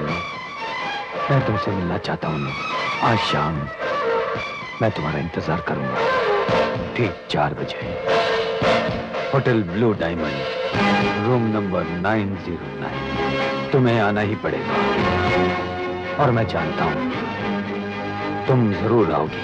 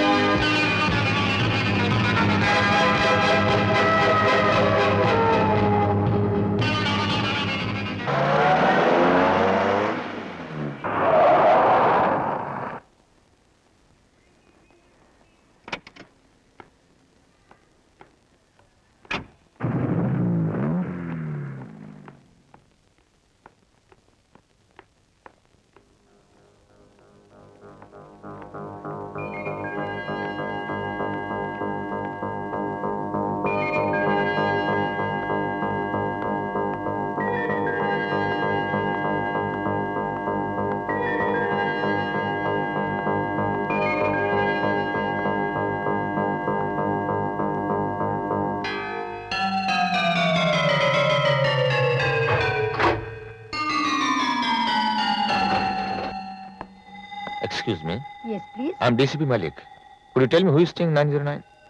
Sir, 909 Mr. King का permanent suite है किंग किंग के साथ अनीता के ताल्लुकात तो क्या हमारी पत्नी का रिश्ता अब मेरा और तुम्हारा कोई रिश्ता नहीं परछाइयों का पीछा करने से कुछ नहीं मिलेगा मैं अब तुम्हारी वो अनीता नहीं हूँ मैं किसी और की पत्नी बन चुकी हूँ और मैं नहीं चाहता कि उस पत्नी की मांग से सिंदूर छिन जाए इसीलिए मैंने तुम्हें यहाँ बुलाया है। किसी तरह अपने पति को इस बात के लिए राज़ी कर लो कि वो अपना ट्रांसफ़र किसी और शहर में करवा ले। क्यों? इसलिए कि अपनी ईमानदारी की वजह से उसने कदम कदम पर मुजरिमों से दुश्मनी मोल ले ली है। और मैं नहीं चाहता कि उस पर गोली कोई और चलाए और नाम किसी का है किसी का क्यों? गोली तो तुम ही चलाना चाहते हो उन पर। तुम दुश्मन बन गए हो मेरे सुहाग के। तुम मेरे पति को खत्म कर देना चाहते हो? बस अनिता बस। किंग टूट सकता है लेकिन किंग का दिया हुआ वचन नहीं टूट सकता। वचन? तुम्हारा ईमान डगमगा रहा है। मुझे हासिल करने के लिए किसी और दुश्मन का नाम लेकर तुम मेरे पति को खत्म कर देना चाहते हो। अनिता! ये जख्म उस गोली का है। जिस गोली का निशाना था तुम्हारे पति का सीना। किशन हाँ अनिता। जिसे मलिक ने पुलिस डिपार्टमेंट को एक मामूली सा हादसा बताया। वो एक जानलेवा हमला था उस पर। अगर मैं वक्त पर न पहुँचता तो क्या? मेरी विनती है तुमसे किसी भी तरह से तुम लोग इस शहर से कहीं और चले जाओ। मैं हमेशा तुम्हें सिर्फ़ खुश देखना चाहता हूँ। मुझे माफ़ कर दो किशन। मैंने तुम्हें कितना गलत समझा कितना गलत।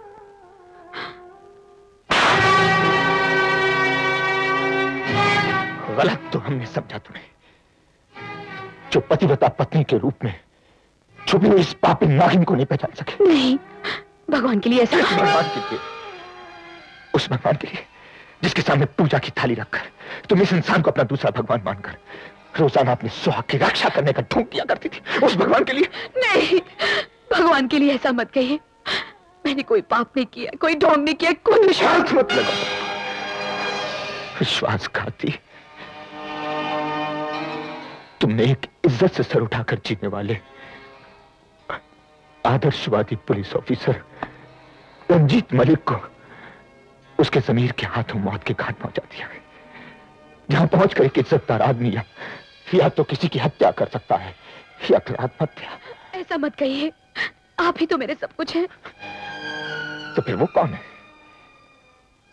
तुम मेरी पत्नी हो। मैं तुम्हारा पति हूँ। तो फिर वो तुम्हारा कौन है? तुम उसकी कौन हो? अगर तुमने मेरे हाथों से इस गले में मंगलसूत्र बनवाया है तो फिर उसके साथ कौन सा रिश्ता बांधा है? तुमने मेरे साथ अपना घर संसार बसा है तो फिर उस उस उस होटल में कमरा नंबर 909 में क्या रखा है? बोलो बोलो जवाब दो। बस करो रंजीत, बस करो। मुझसे और बर्दाश्त नहीं होगा। मैं मर जाऊँगी। तुम जैसी औरतों का मर जाना। मुझे मौत मंजूर है रंजीत। मगर पापिन नहीं सुहागन बनकर मरूँगी मैं। लेकिन मरने से पहले मैं अपनी ज़िंदगी की वो टूटी हुई कहानी सुनाऊँगी। वो कहानी जो मैंने तुम्हें हर पल बतानी चाहिए। मगर तुम मेरे प्यार में ऐसे खोए। ऐसे खोए कि जीते जी कभी मौका ही नहीं दिया। लेकिन आज तो मरने की बात आ ही गई। इसलिए तुम्हें सुननी ही पड़ेगी। बरसों पहले की बात है। हम कश्मीर के एक छोटे से गाँव में रहा करते थे। बचपन में ही किस्मत ने माँ बाप का प्यार छीन लिया। शराबी मामा ने मुझे पालकर बड़ा तो किया। लेकिन मेरे जवान होते ही उसी शराबी मामा ने शराब के मोल में मेरी जवानी का सौदा एक जमींदार से करना चाहा। मेरी इज़्ज़त को उसने रुपयों में तोलना चाहा। इससे पहले कि मुझ पर कोई दाग लगे, मैं वहाँ से भाग निकली।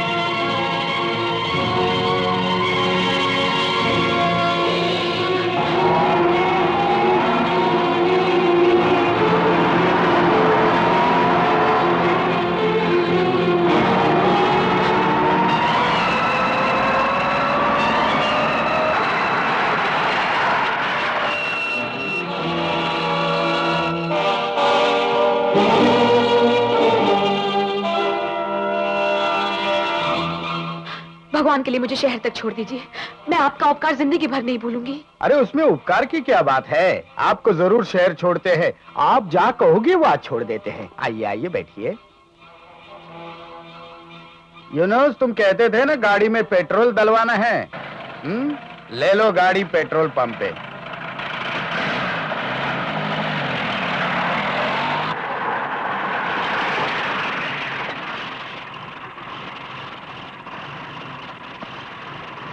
अरे अब्दुल। जी साहब। जीप में पेट्रोल डाल दे मैं घर जाकर आता हूँ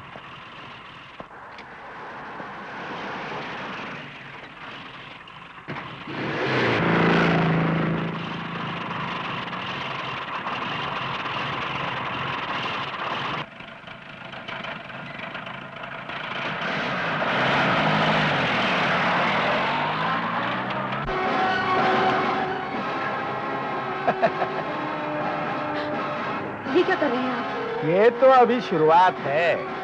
करना तो अभी बहुत कुछ बाकी है। ये क्या कर रहे हैं? छोड़ो मुझे। गाड़ी रोको बचाओ। मैं कहती गाड़ी रोको? मैं कहती गाड़ी रोको? छोड़ो मुझे।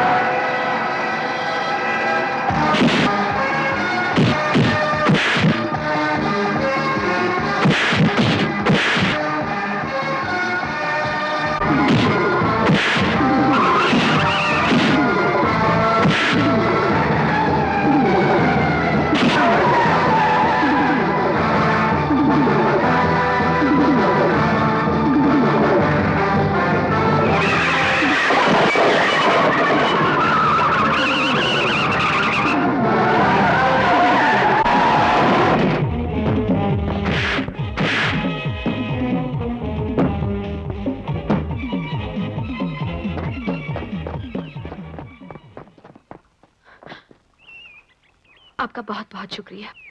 सुनिए आपको कहाँ जाना है? आइए मैं आपको छोड़ देता हूँ। कहाँ छोड़ेंगे आप? मुझे छोड़ने के लिए इस दुनिया में कोई जगह नहीं है।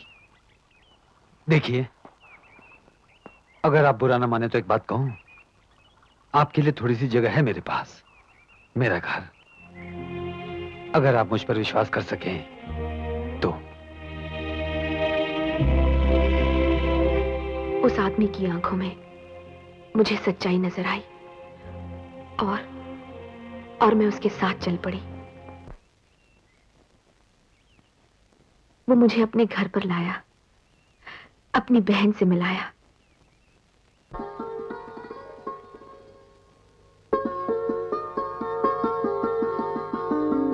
उसका एहसान, उसकी हमदर्दी और उसका अपनापन आहिस्ता आहिस्ता मुझे उसके करीब लाता गया।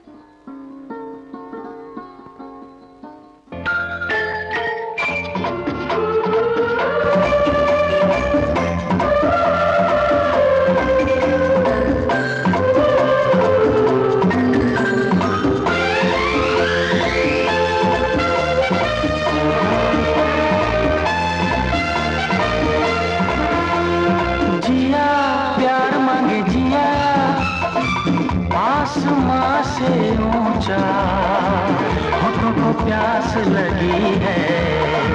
तेरी निगाह कहती है कभी हाँ हाँ हाँ कभी ना।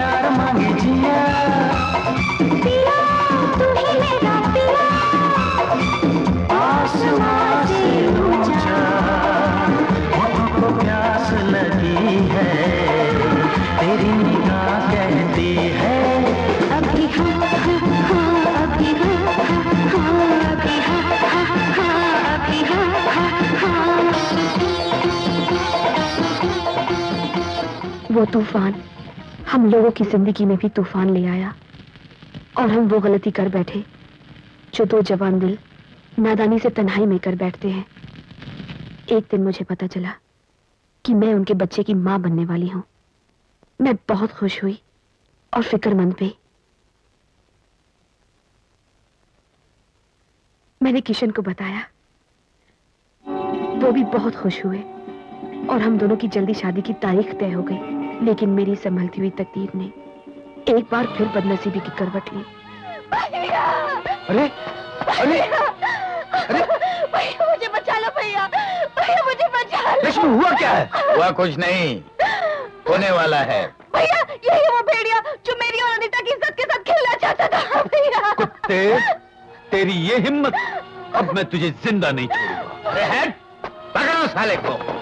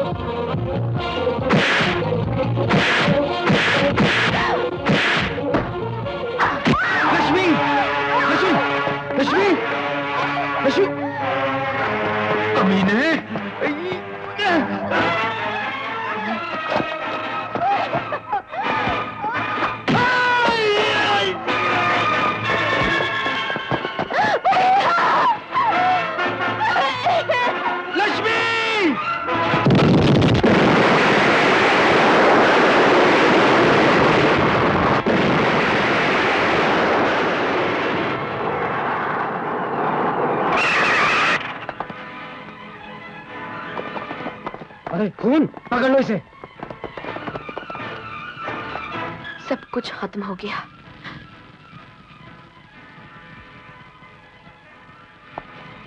पुलिस किशन को गिरफ़्तार करके ले गई।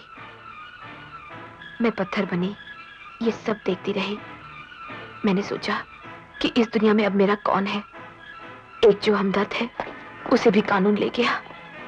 मैंने मौत को गले लगाने का फैसला कर लिया मैं पानी में डूबकर अपने आप को खत्म करने जा रही थी कि अचानक आपने आकर बचा लिया और और मुझे अपने साथ घर ले गए। मैंने कई बार आपको अपना गुजरा हुआ कल बताने की कोशिश की। आपने हर बार मुझसे सब कुछ भूल जाने को कहा। बहुत प्यार दिया आपने मुझे। इस तरह एक नई ज़िंदगी फिर से शुरू हो गई। यही है इस अभागन की कहानी। अब भी अगर तुम्हें मुझ पर विश्वास नहीं तो सिर्फ़ मौत ही मेरी मंजिल है। सिर्फ़ मौत।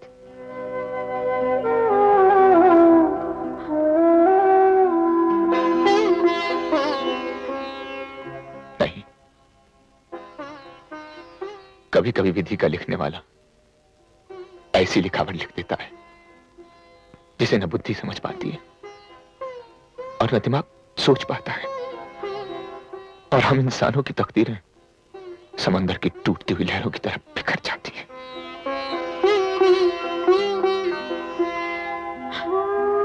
अनजाने में हम तुम्हें कसूरवार समझ बैठे। मगर मगर अपनी नज़रों में खुद हम एक मुजरिम, एक दोषी बन गए।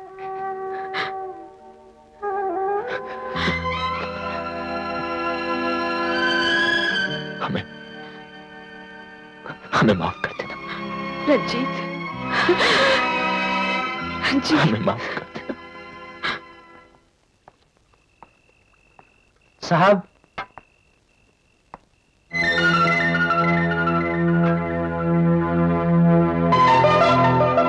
इस घर में क्या लेने आए हो डीसीपी मलिक?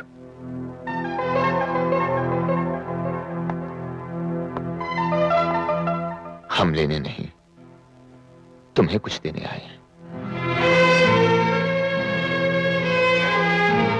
हम तुम्हें अपनी खुशी देने आए हैं। तुम्हारी ज़िंदगी की सबसे कीमती चीज़। तुम्हारा बेटा। मेरा बेटा? हाँ। जिसे हम आज तक अपना हो। अपनी औलाद समझते रहे। वो तुम्हारा खून है। विकी तुम्हारा बेटा है। क्या? अनीता ने हमें सब कुछ बता दिया है। अनीता ने? लेकिन मलिक विकी को इस बात का पता नहीं चलना चाहिए। अगर उसे पता चल गया तो न बेटे से नज़रें मिलाकर ये बाप जी सकेगा और न बेटे को गले लगाकर वो माँ जी सकेगी। हम सब घुट घुट कर मर जाएँगे, मलिक। आज वो समाज के सामने एक इज्जतदार पुलिस ऑफिसर का बेटा है। किंग का बेटा कहलाकर उसे क्या मिलेगा? सिर्फ़ बदनामी। और मैं नहीं चाहता कि वो मुझ जैसे मुजरिम का बेटा कहलाए। मलिक, मैं तुम्हारे सामने हाथ जोड़कर भीख माँगता हूँ। कि मुझे वचन दो। इस राज को हमेशा अपने सीने में रखोगे। विकी से कभी नहीं कहोगे। मुझे वचन दो। मगर हम हम अपने सीने पर यह बोझ कैसे रख सकेंगे? मैं जानता हूँ। मैं जानता हूँ यह बहुत बड़ा बोझ है लेकिन तुम्हें यह बोझ उठाना होगा। तुम्हें तुम्हें कसम है तुम्हारे बेटे विकी की। मुझे वचन दो। वचन दो मुझे। वचन दो मलिक। प्लीज़।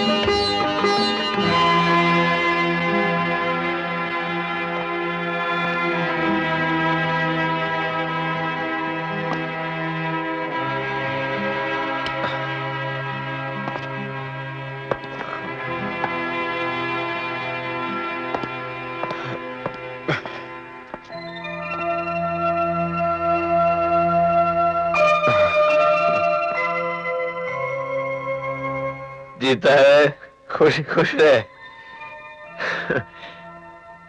हम्म, मुस्कुराता है हम पे। हम्म। हमारी तकदीर पर मुस्कुरा रहा है बच्चे। मुस्कुरा ले।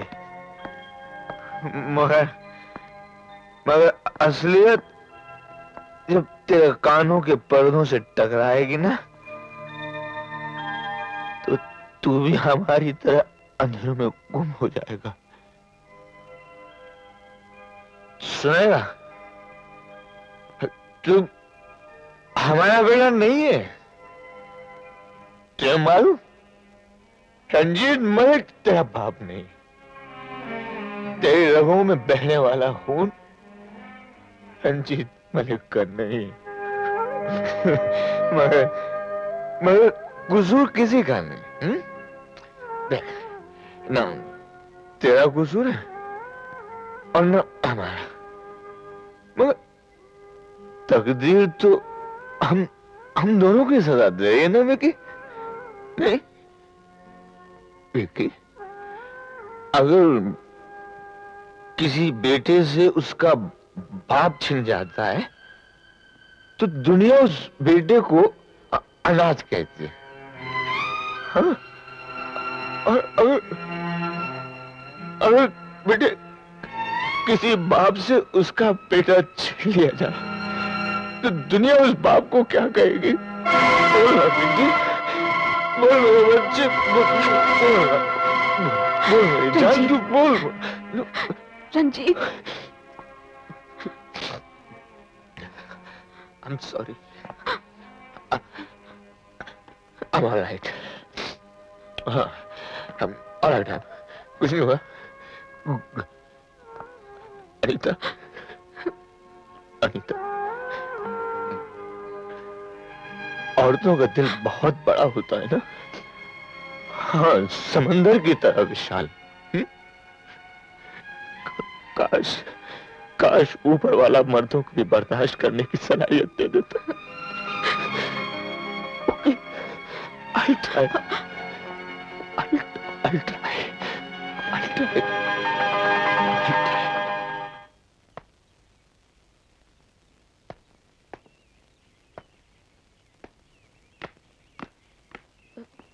क्या बात है विकी आहिस्ता बोलो आहिस्ता। पहले ये बताओ डैडी घर में है? नहीं है लेकिन बात क्या है? नहीं है ना। फिर क्या है? अभी बताता हूँ।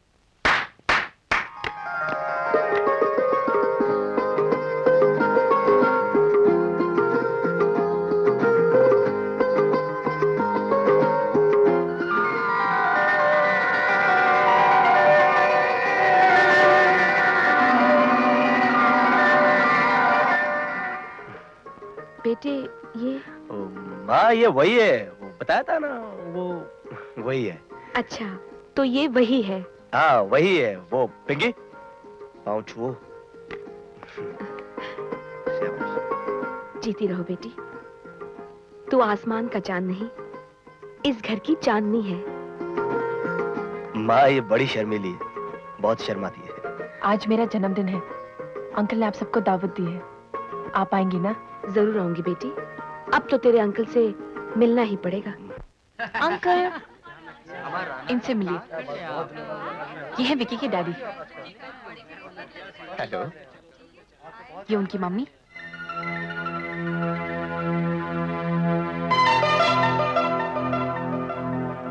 और वो विकी। नमस्ते। मेरा बेटा मेरा खून। जी चाहता है तुझे हमेशा हमेशा के लिए गले लगा लूँ। किंग साहब हुजूर कहाँ खो गए हैं आप? विकी को देखकर मुझे अपना अपना बेटा याद आ गया ना अंकल?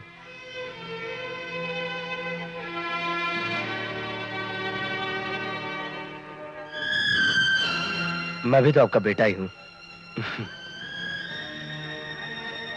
जीते रहो। भगवान करे मेरी उम्र भी तुम्हें लग जाए। अरे भाई जन्मदिन पिंकी का है हम इसे आशीर्वाद बधाइयाँ देंगे या ऐसी बातों में लगे रहेंगे हाँ अरे नहीं मलिक साहब आइए ना हाँ, आइए। चलिए चलो बेटे Happy birthday to you. Happy birthday to you. Happy birthday to dear Pinky. Happy birthday to you. इस खुशी के मौके पर आज का बेस्ट आइटम पेश किया जाएगा और वो आइटम है मेरे प्यारे प्यारे अंकल के खूबसूरत मुँह से एक खूबसूरत गीत। भाई मैं गाऊँगा ज़रूर लेकिन मेरी एक शर्त है। मेरे साथ साथ आप चारों को भी गाना पड़ेगा। हाँ हाँ क्यों नहीं? आ, अरे भाई हम पुलिस वाले।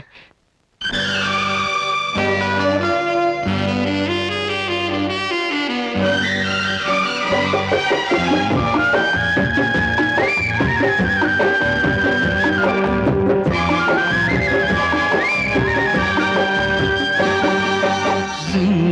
से जब मिले अजनबी नहीं।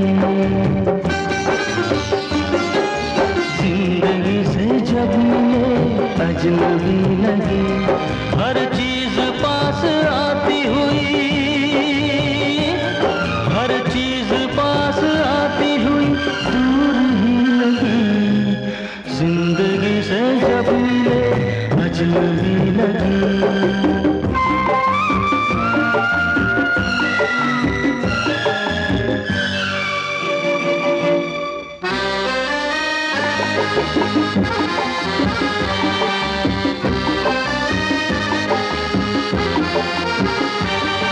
जिसे ज़िंदगी कहते हैं, एक राज है वो गहरा पतझड़ के साथ सावन के साथ सहरा। जिसे ज़िंदगी कहते हैं, एक राज है वो गहरा पतझड़ के साथ सावन के साथ सहरा। कभी दोस्ती लगी तो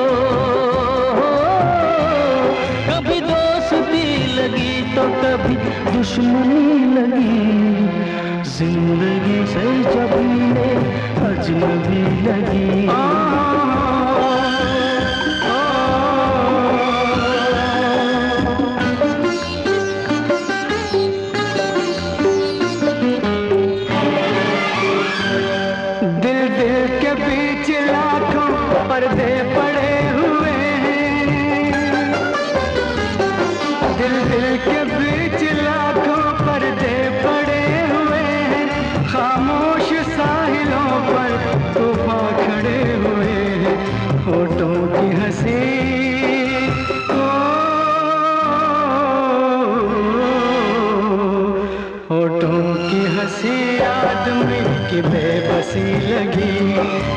ज़िंदगी से जब मिली अजनबी लगी।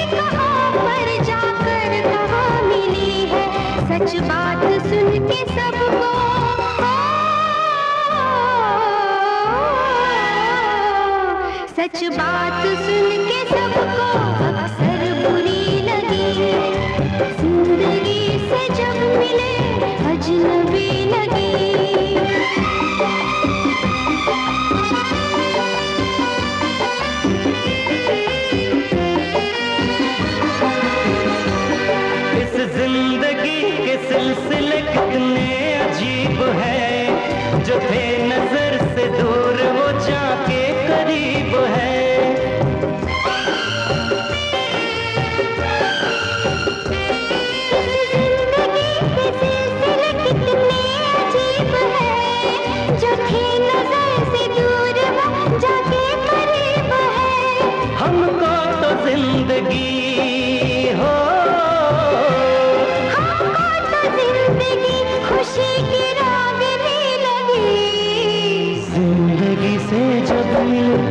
अजनबी लगी ज़िंदगी से जब मिले अजनबी लगी हर चीज़ पास आती हुई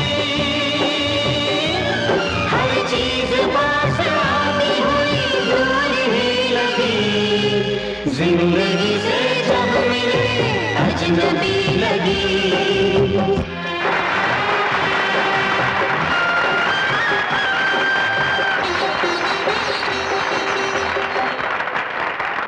क्या कह रहे हो तुम? मैं सच कह रहा हूँ नागराज किंग और मलिक अब रिश्तेदार बनने वाले हैं। वाह!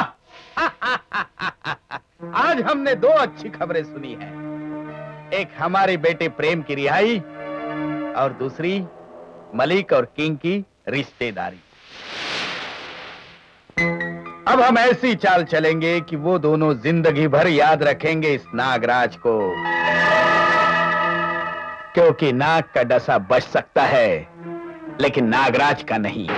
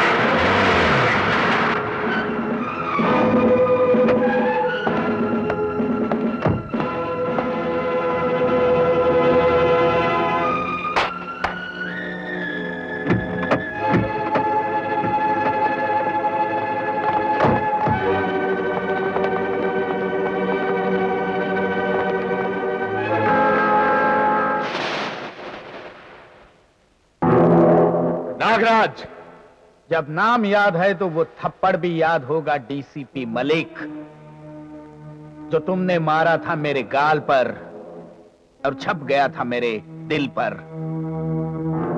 इस तरह हमारा रास्ता रोकने का मतलब जानता है तू? मतलब नहीं अंजाम पूछो अंजाम। कुछ लोग रास्ते के कांटे निकाल कर फेंक देते हैं लेकिन हम उनमें से हैं जो कांटों के साथ साथ पेड़ भी उखाड़ कर फेंक देते हैं। तू कानून का दरख्त क्या उखाड़ेगा, नागराज? तू तो उसकी डाल का एक पत्ता भी नहीं तोड़ सकता। हम तुझे उस रोज भी भारी पड़े थे, और आज इस वक्त भी भारी ही पड़ेंगे। आज तुम कुछ नहीं कर पाओगे डीसीपी मलिक, क्योंकि आज 14 अगस्त का दिन, तुम्हारी मौत का दिन है। और जानते हो, ये दिन हमने क्यों चुना है? क्योंकि कल 15 अगस्त को तुम्हें वीरता का गोल्ड मेडल मिलने वाला है। लेकिन आज हम तुम्हें मौत का मेडल पहनाएँगे।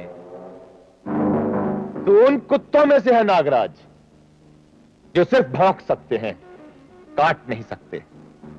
और रही बात मौत की तो वो वक्त बताएगा।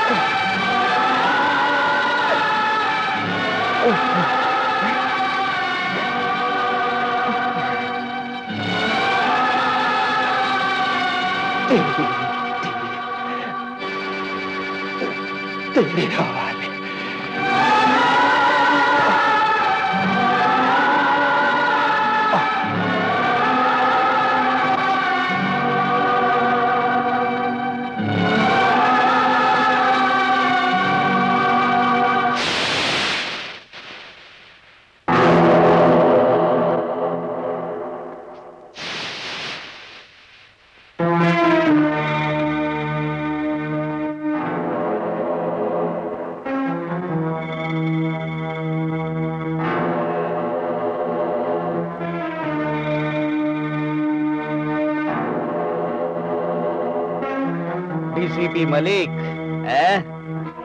इसे कहते हैं शतरंज की चाल। जुर्म के हाथ से कानून मरा है, अब बेटे के हाथ से बाप मरेगा।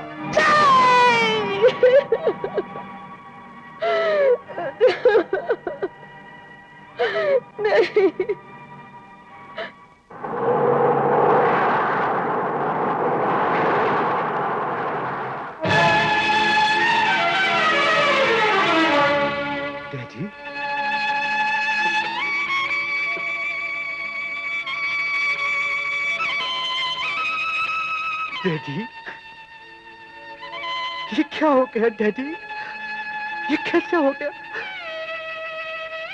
किस पापी ने आपकी ये हालत की? किसने मेरे सर से बाप का साया छीन किंग? डैडी, मुझे आपके इस पवित्र खून की कसम, आपके खून के एक एक कतरे का बदला गिन गिन के लूँगा। किंग के खून से ये धरती तो क्या? आसमान भी लाल कर दूँगा। लपेट डालूँगा उस हरामजादे को हमेशा हमेशा के लिए मौत की ज्वाला में। लपेट डालूँगा। क्या? मलिक का खून? किसने किया? विकी, ये क्या पागलपन है? ये पागलपन नहीं है, मेरा इंतकाम की ज्वाला है। जो तुम्हारा अंतिम संस्कार करने के लिए मुझे यहाँ पर खींच लाई है। मेरे पिताजी टीसीपी मलिक को मौत की नींद सुलाकर तुम चैन की सांस नहीं ले सकते किंग। क्या? तुम समझते हो? डीसीपी मलिक का खून मैंने किया है। समझता नहीं हो मुझे पूरा यकीन है। मेरे पिताजी मरते वक्त अपने खून से मारने वाले का नाम लिख गए थे। और वो नाम था किंग। यानी कि तुम। और आज दुनिया की कोई ताकत तुम्हें मुझसे नहीं बचा सकती। नहीं बेटे नहीं। ऐसा गजब मत करना बेटे। माँ ये क्या किया तुमने? जिस आदमी ने तुम्हारे मांग के सिंदूर को पिताजी के खून से धो दिया जिसने मेरी ज़िंदगी को अनाथ और तुम्हारी तकदीर को विधवा की साड़ी पहना दी उसी को तुम बचाना चाह रही हो? नहीं बेटा ये ऐसा आप कभी नहीं कर सकते। क्यों नहीं कर सकता माँ? क्यों नहीं कर सकता? एक मुजरिम अपना जुर्म छुपाने के लिए कुछ भी कर सकता है। तुम मेरे रास्ते से जाओ माँ। आज मैं इसे मौत की चादर में लपेट के रहूँगा। एक बाप अपनी औलाद को पालने वाले पिता का खून कभी नहीं कर सकता। क्या?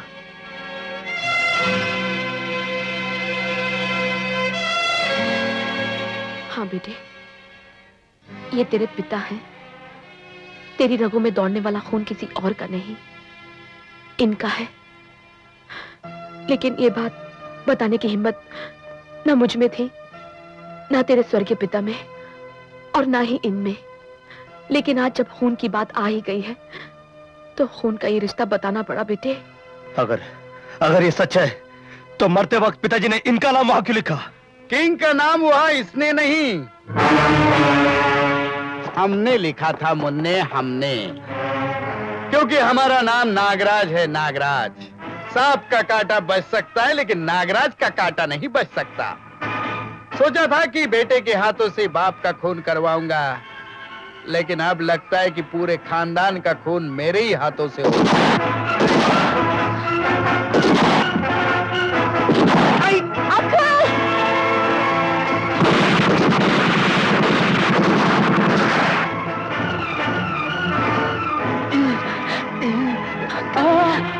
ये ये सब क्या हो गया? जो होना था।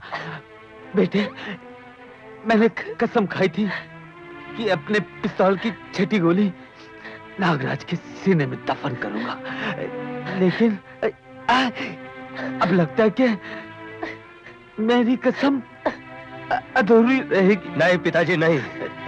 आपके बेटे के जीते जी ऐसा कभी नहीं होगा। मैं वादा करता हूँ कि आपकी ये कसम मैं पूरी करूँगा। आपके पिस्तौल की छठी गोली उसके सीने में मैं दफन करूँगा।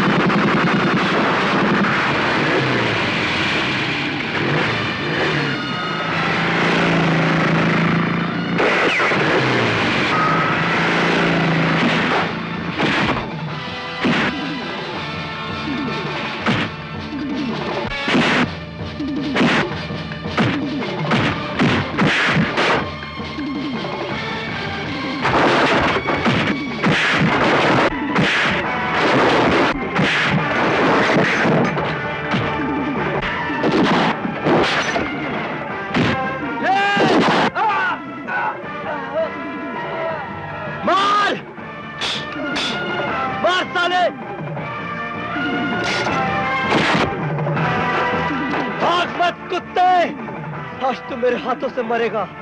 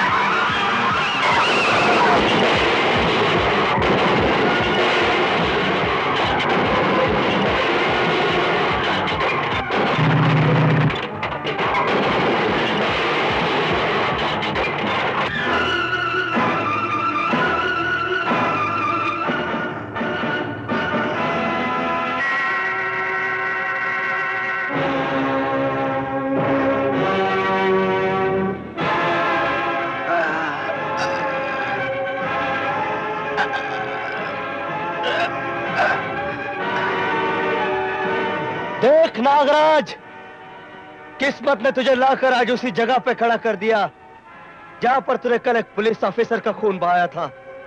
और आज आज इसी जगह पर मैं तुझे मौत के मुँह में भेजूँगा।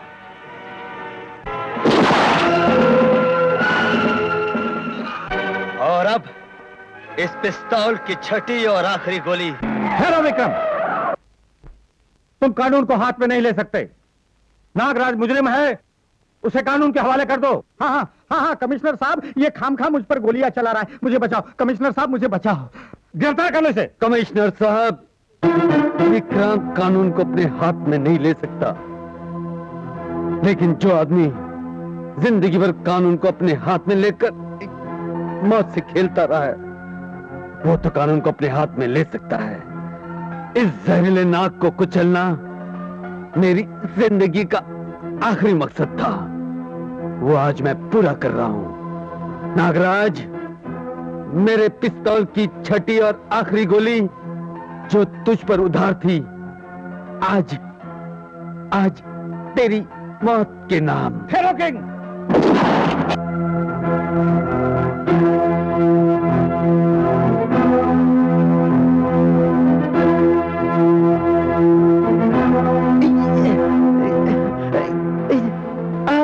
पिताजी नहीं।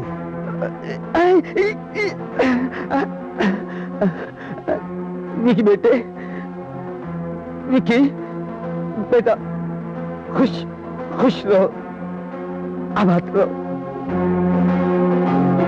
अब मैं उस जाबाज कानून के सिपाही को स्टेज पर आने की दावत देता हूँ जिसने अपने सर पर कफन बांधकर इस शहर के मुजरिमों को मौत और कानून के कफन में लपेट कर रख दिया है।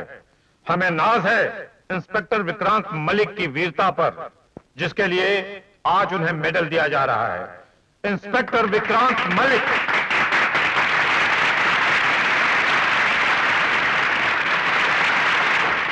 अब मैं गवर्नर साहब से दरखास्त करूँगा कि ये मेडल अपने हाथों से इंस्पेक्टर विक्रांत मलिक को पहनाएँ। और गवर्नर साहब से मेरी ये विनती है कि ये मेडल वो मुझे मेरी माँ के हाथों से पहनने की परमिशन दे। इस मेडल की चमक में मेरे पिता के खून की झलक है। पालने वाले की और जन्म देने वाले की भी। ये मेडल नहीं है। ये मेरे अपनों के बहाए हुए खून की दास्तान। इसलिए मैं चाहता हूँ कि ये मेडल मुझे मेरी माँ के हाथों से पहनवाया जाए। इजाज़त है। मिसेस मलिक को स्टेज पर बुलाइए। Mrs Malik please.